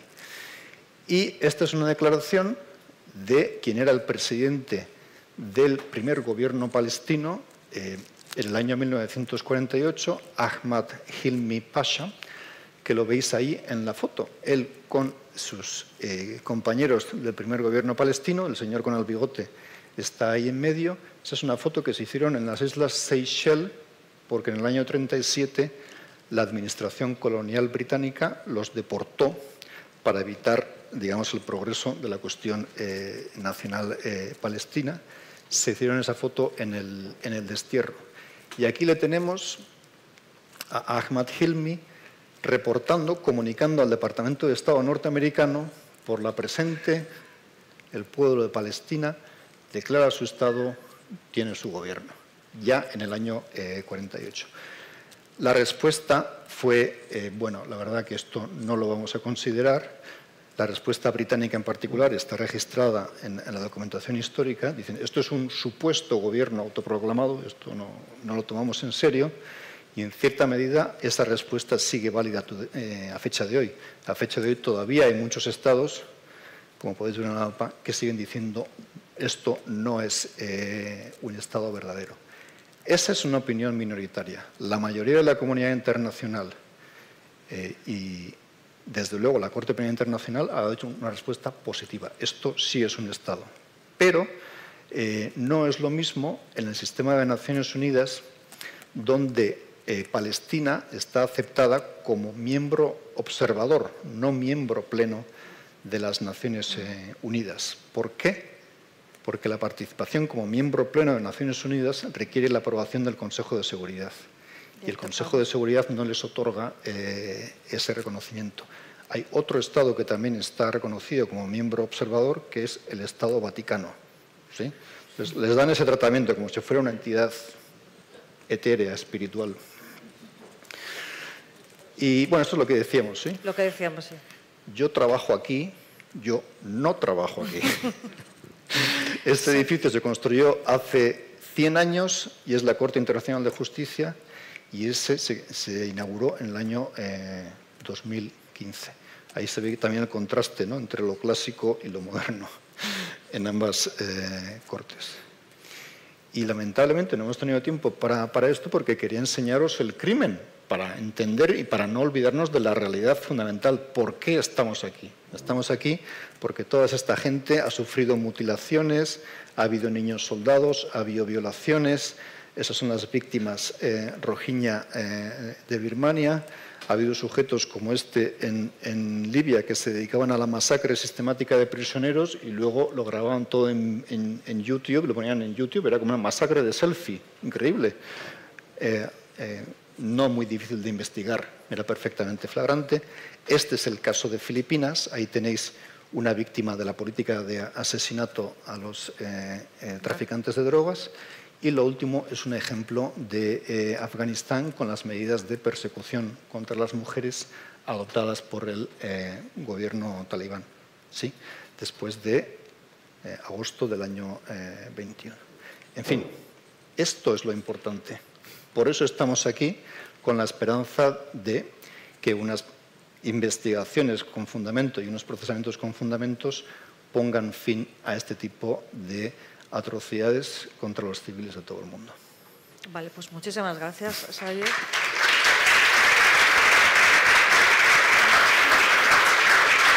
Bueno.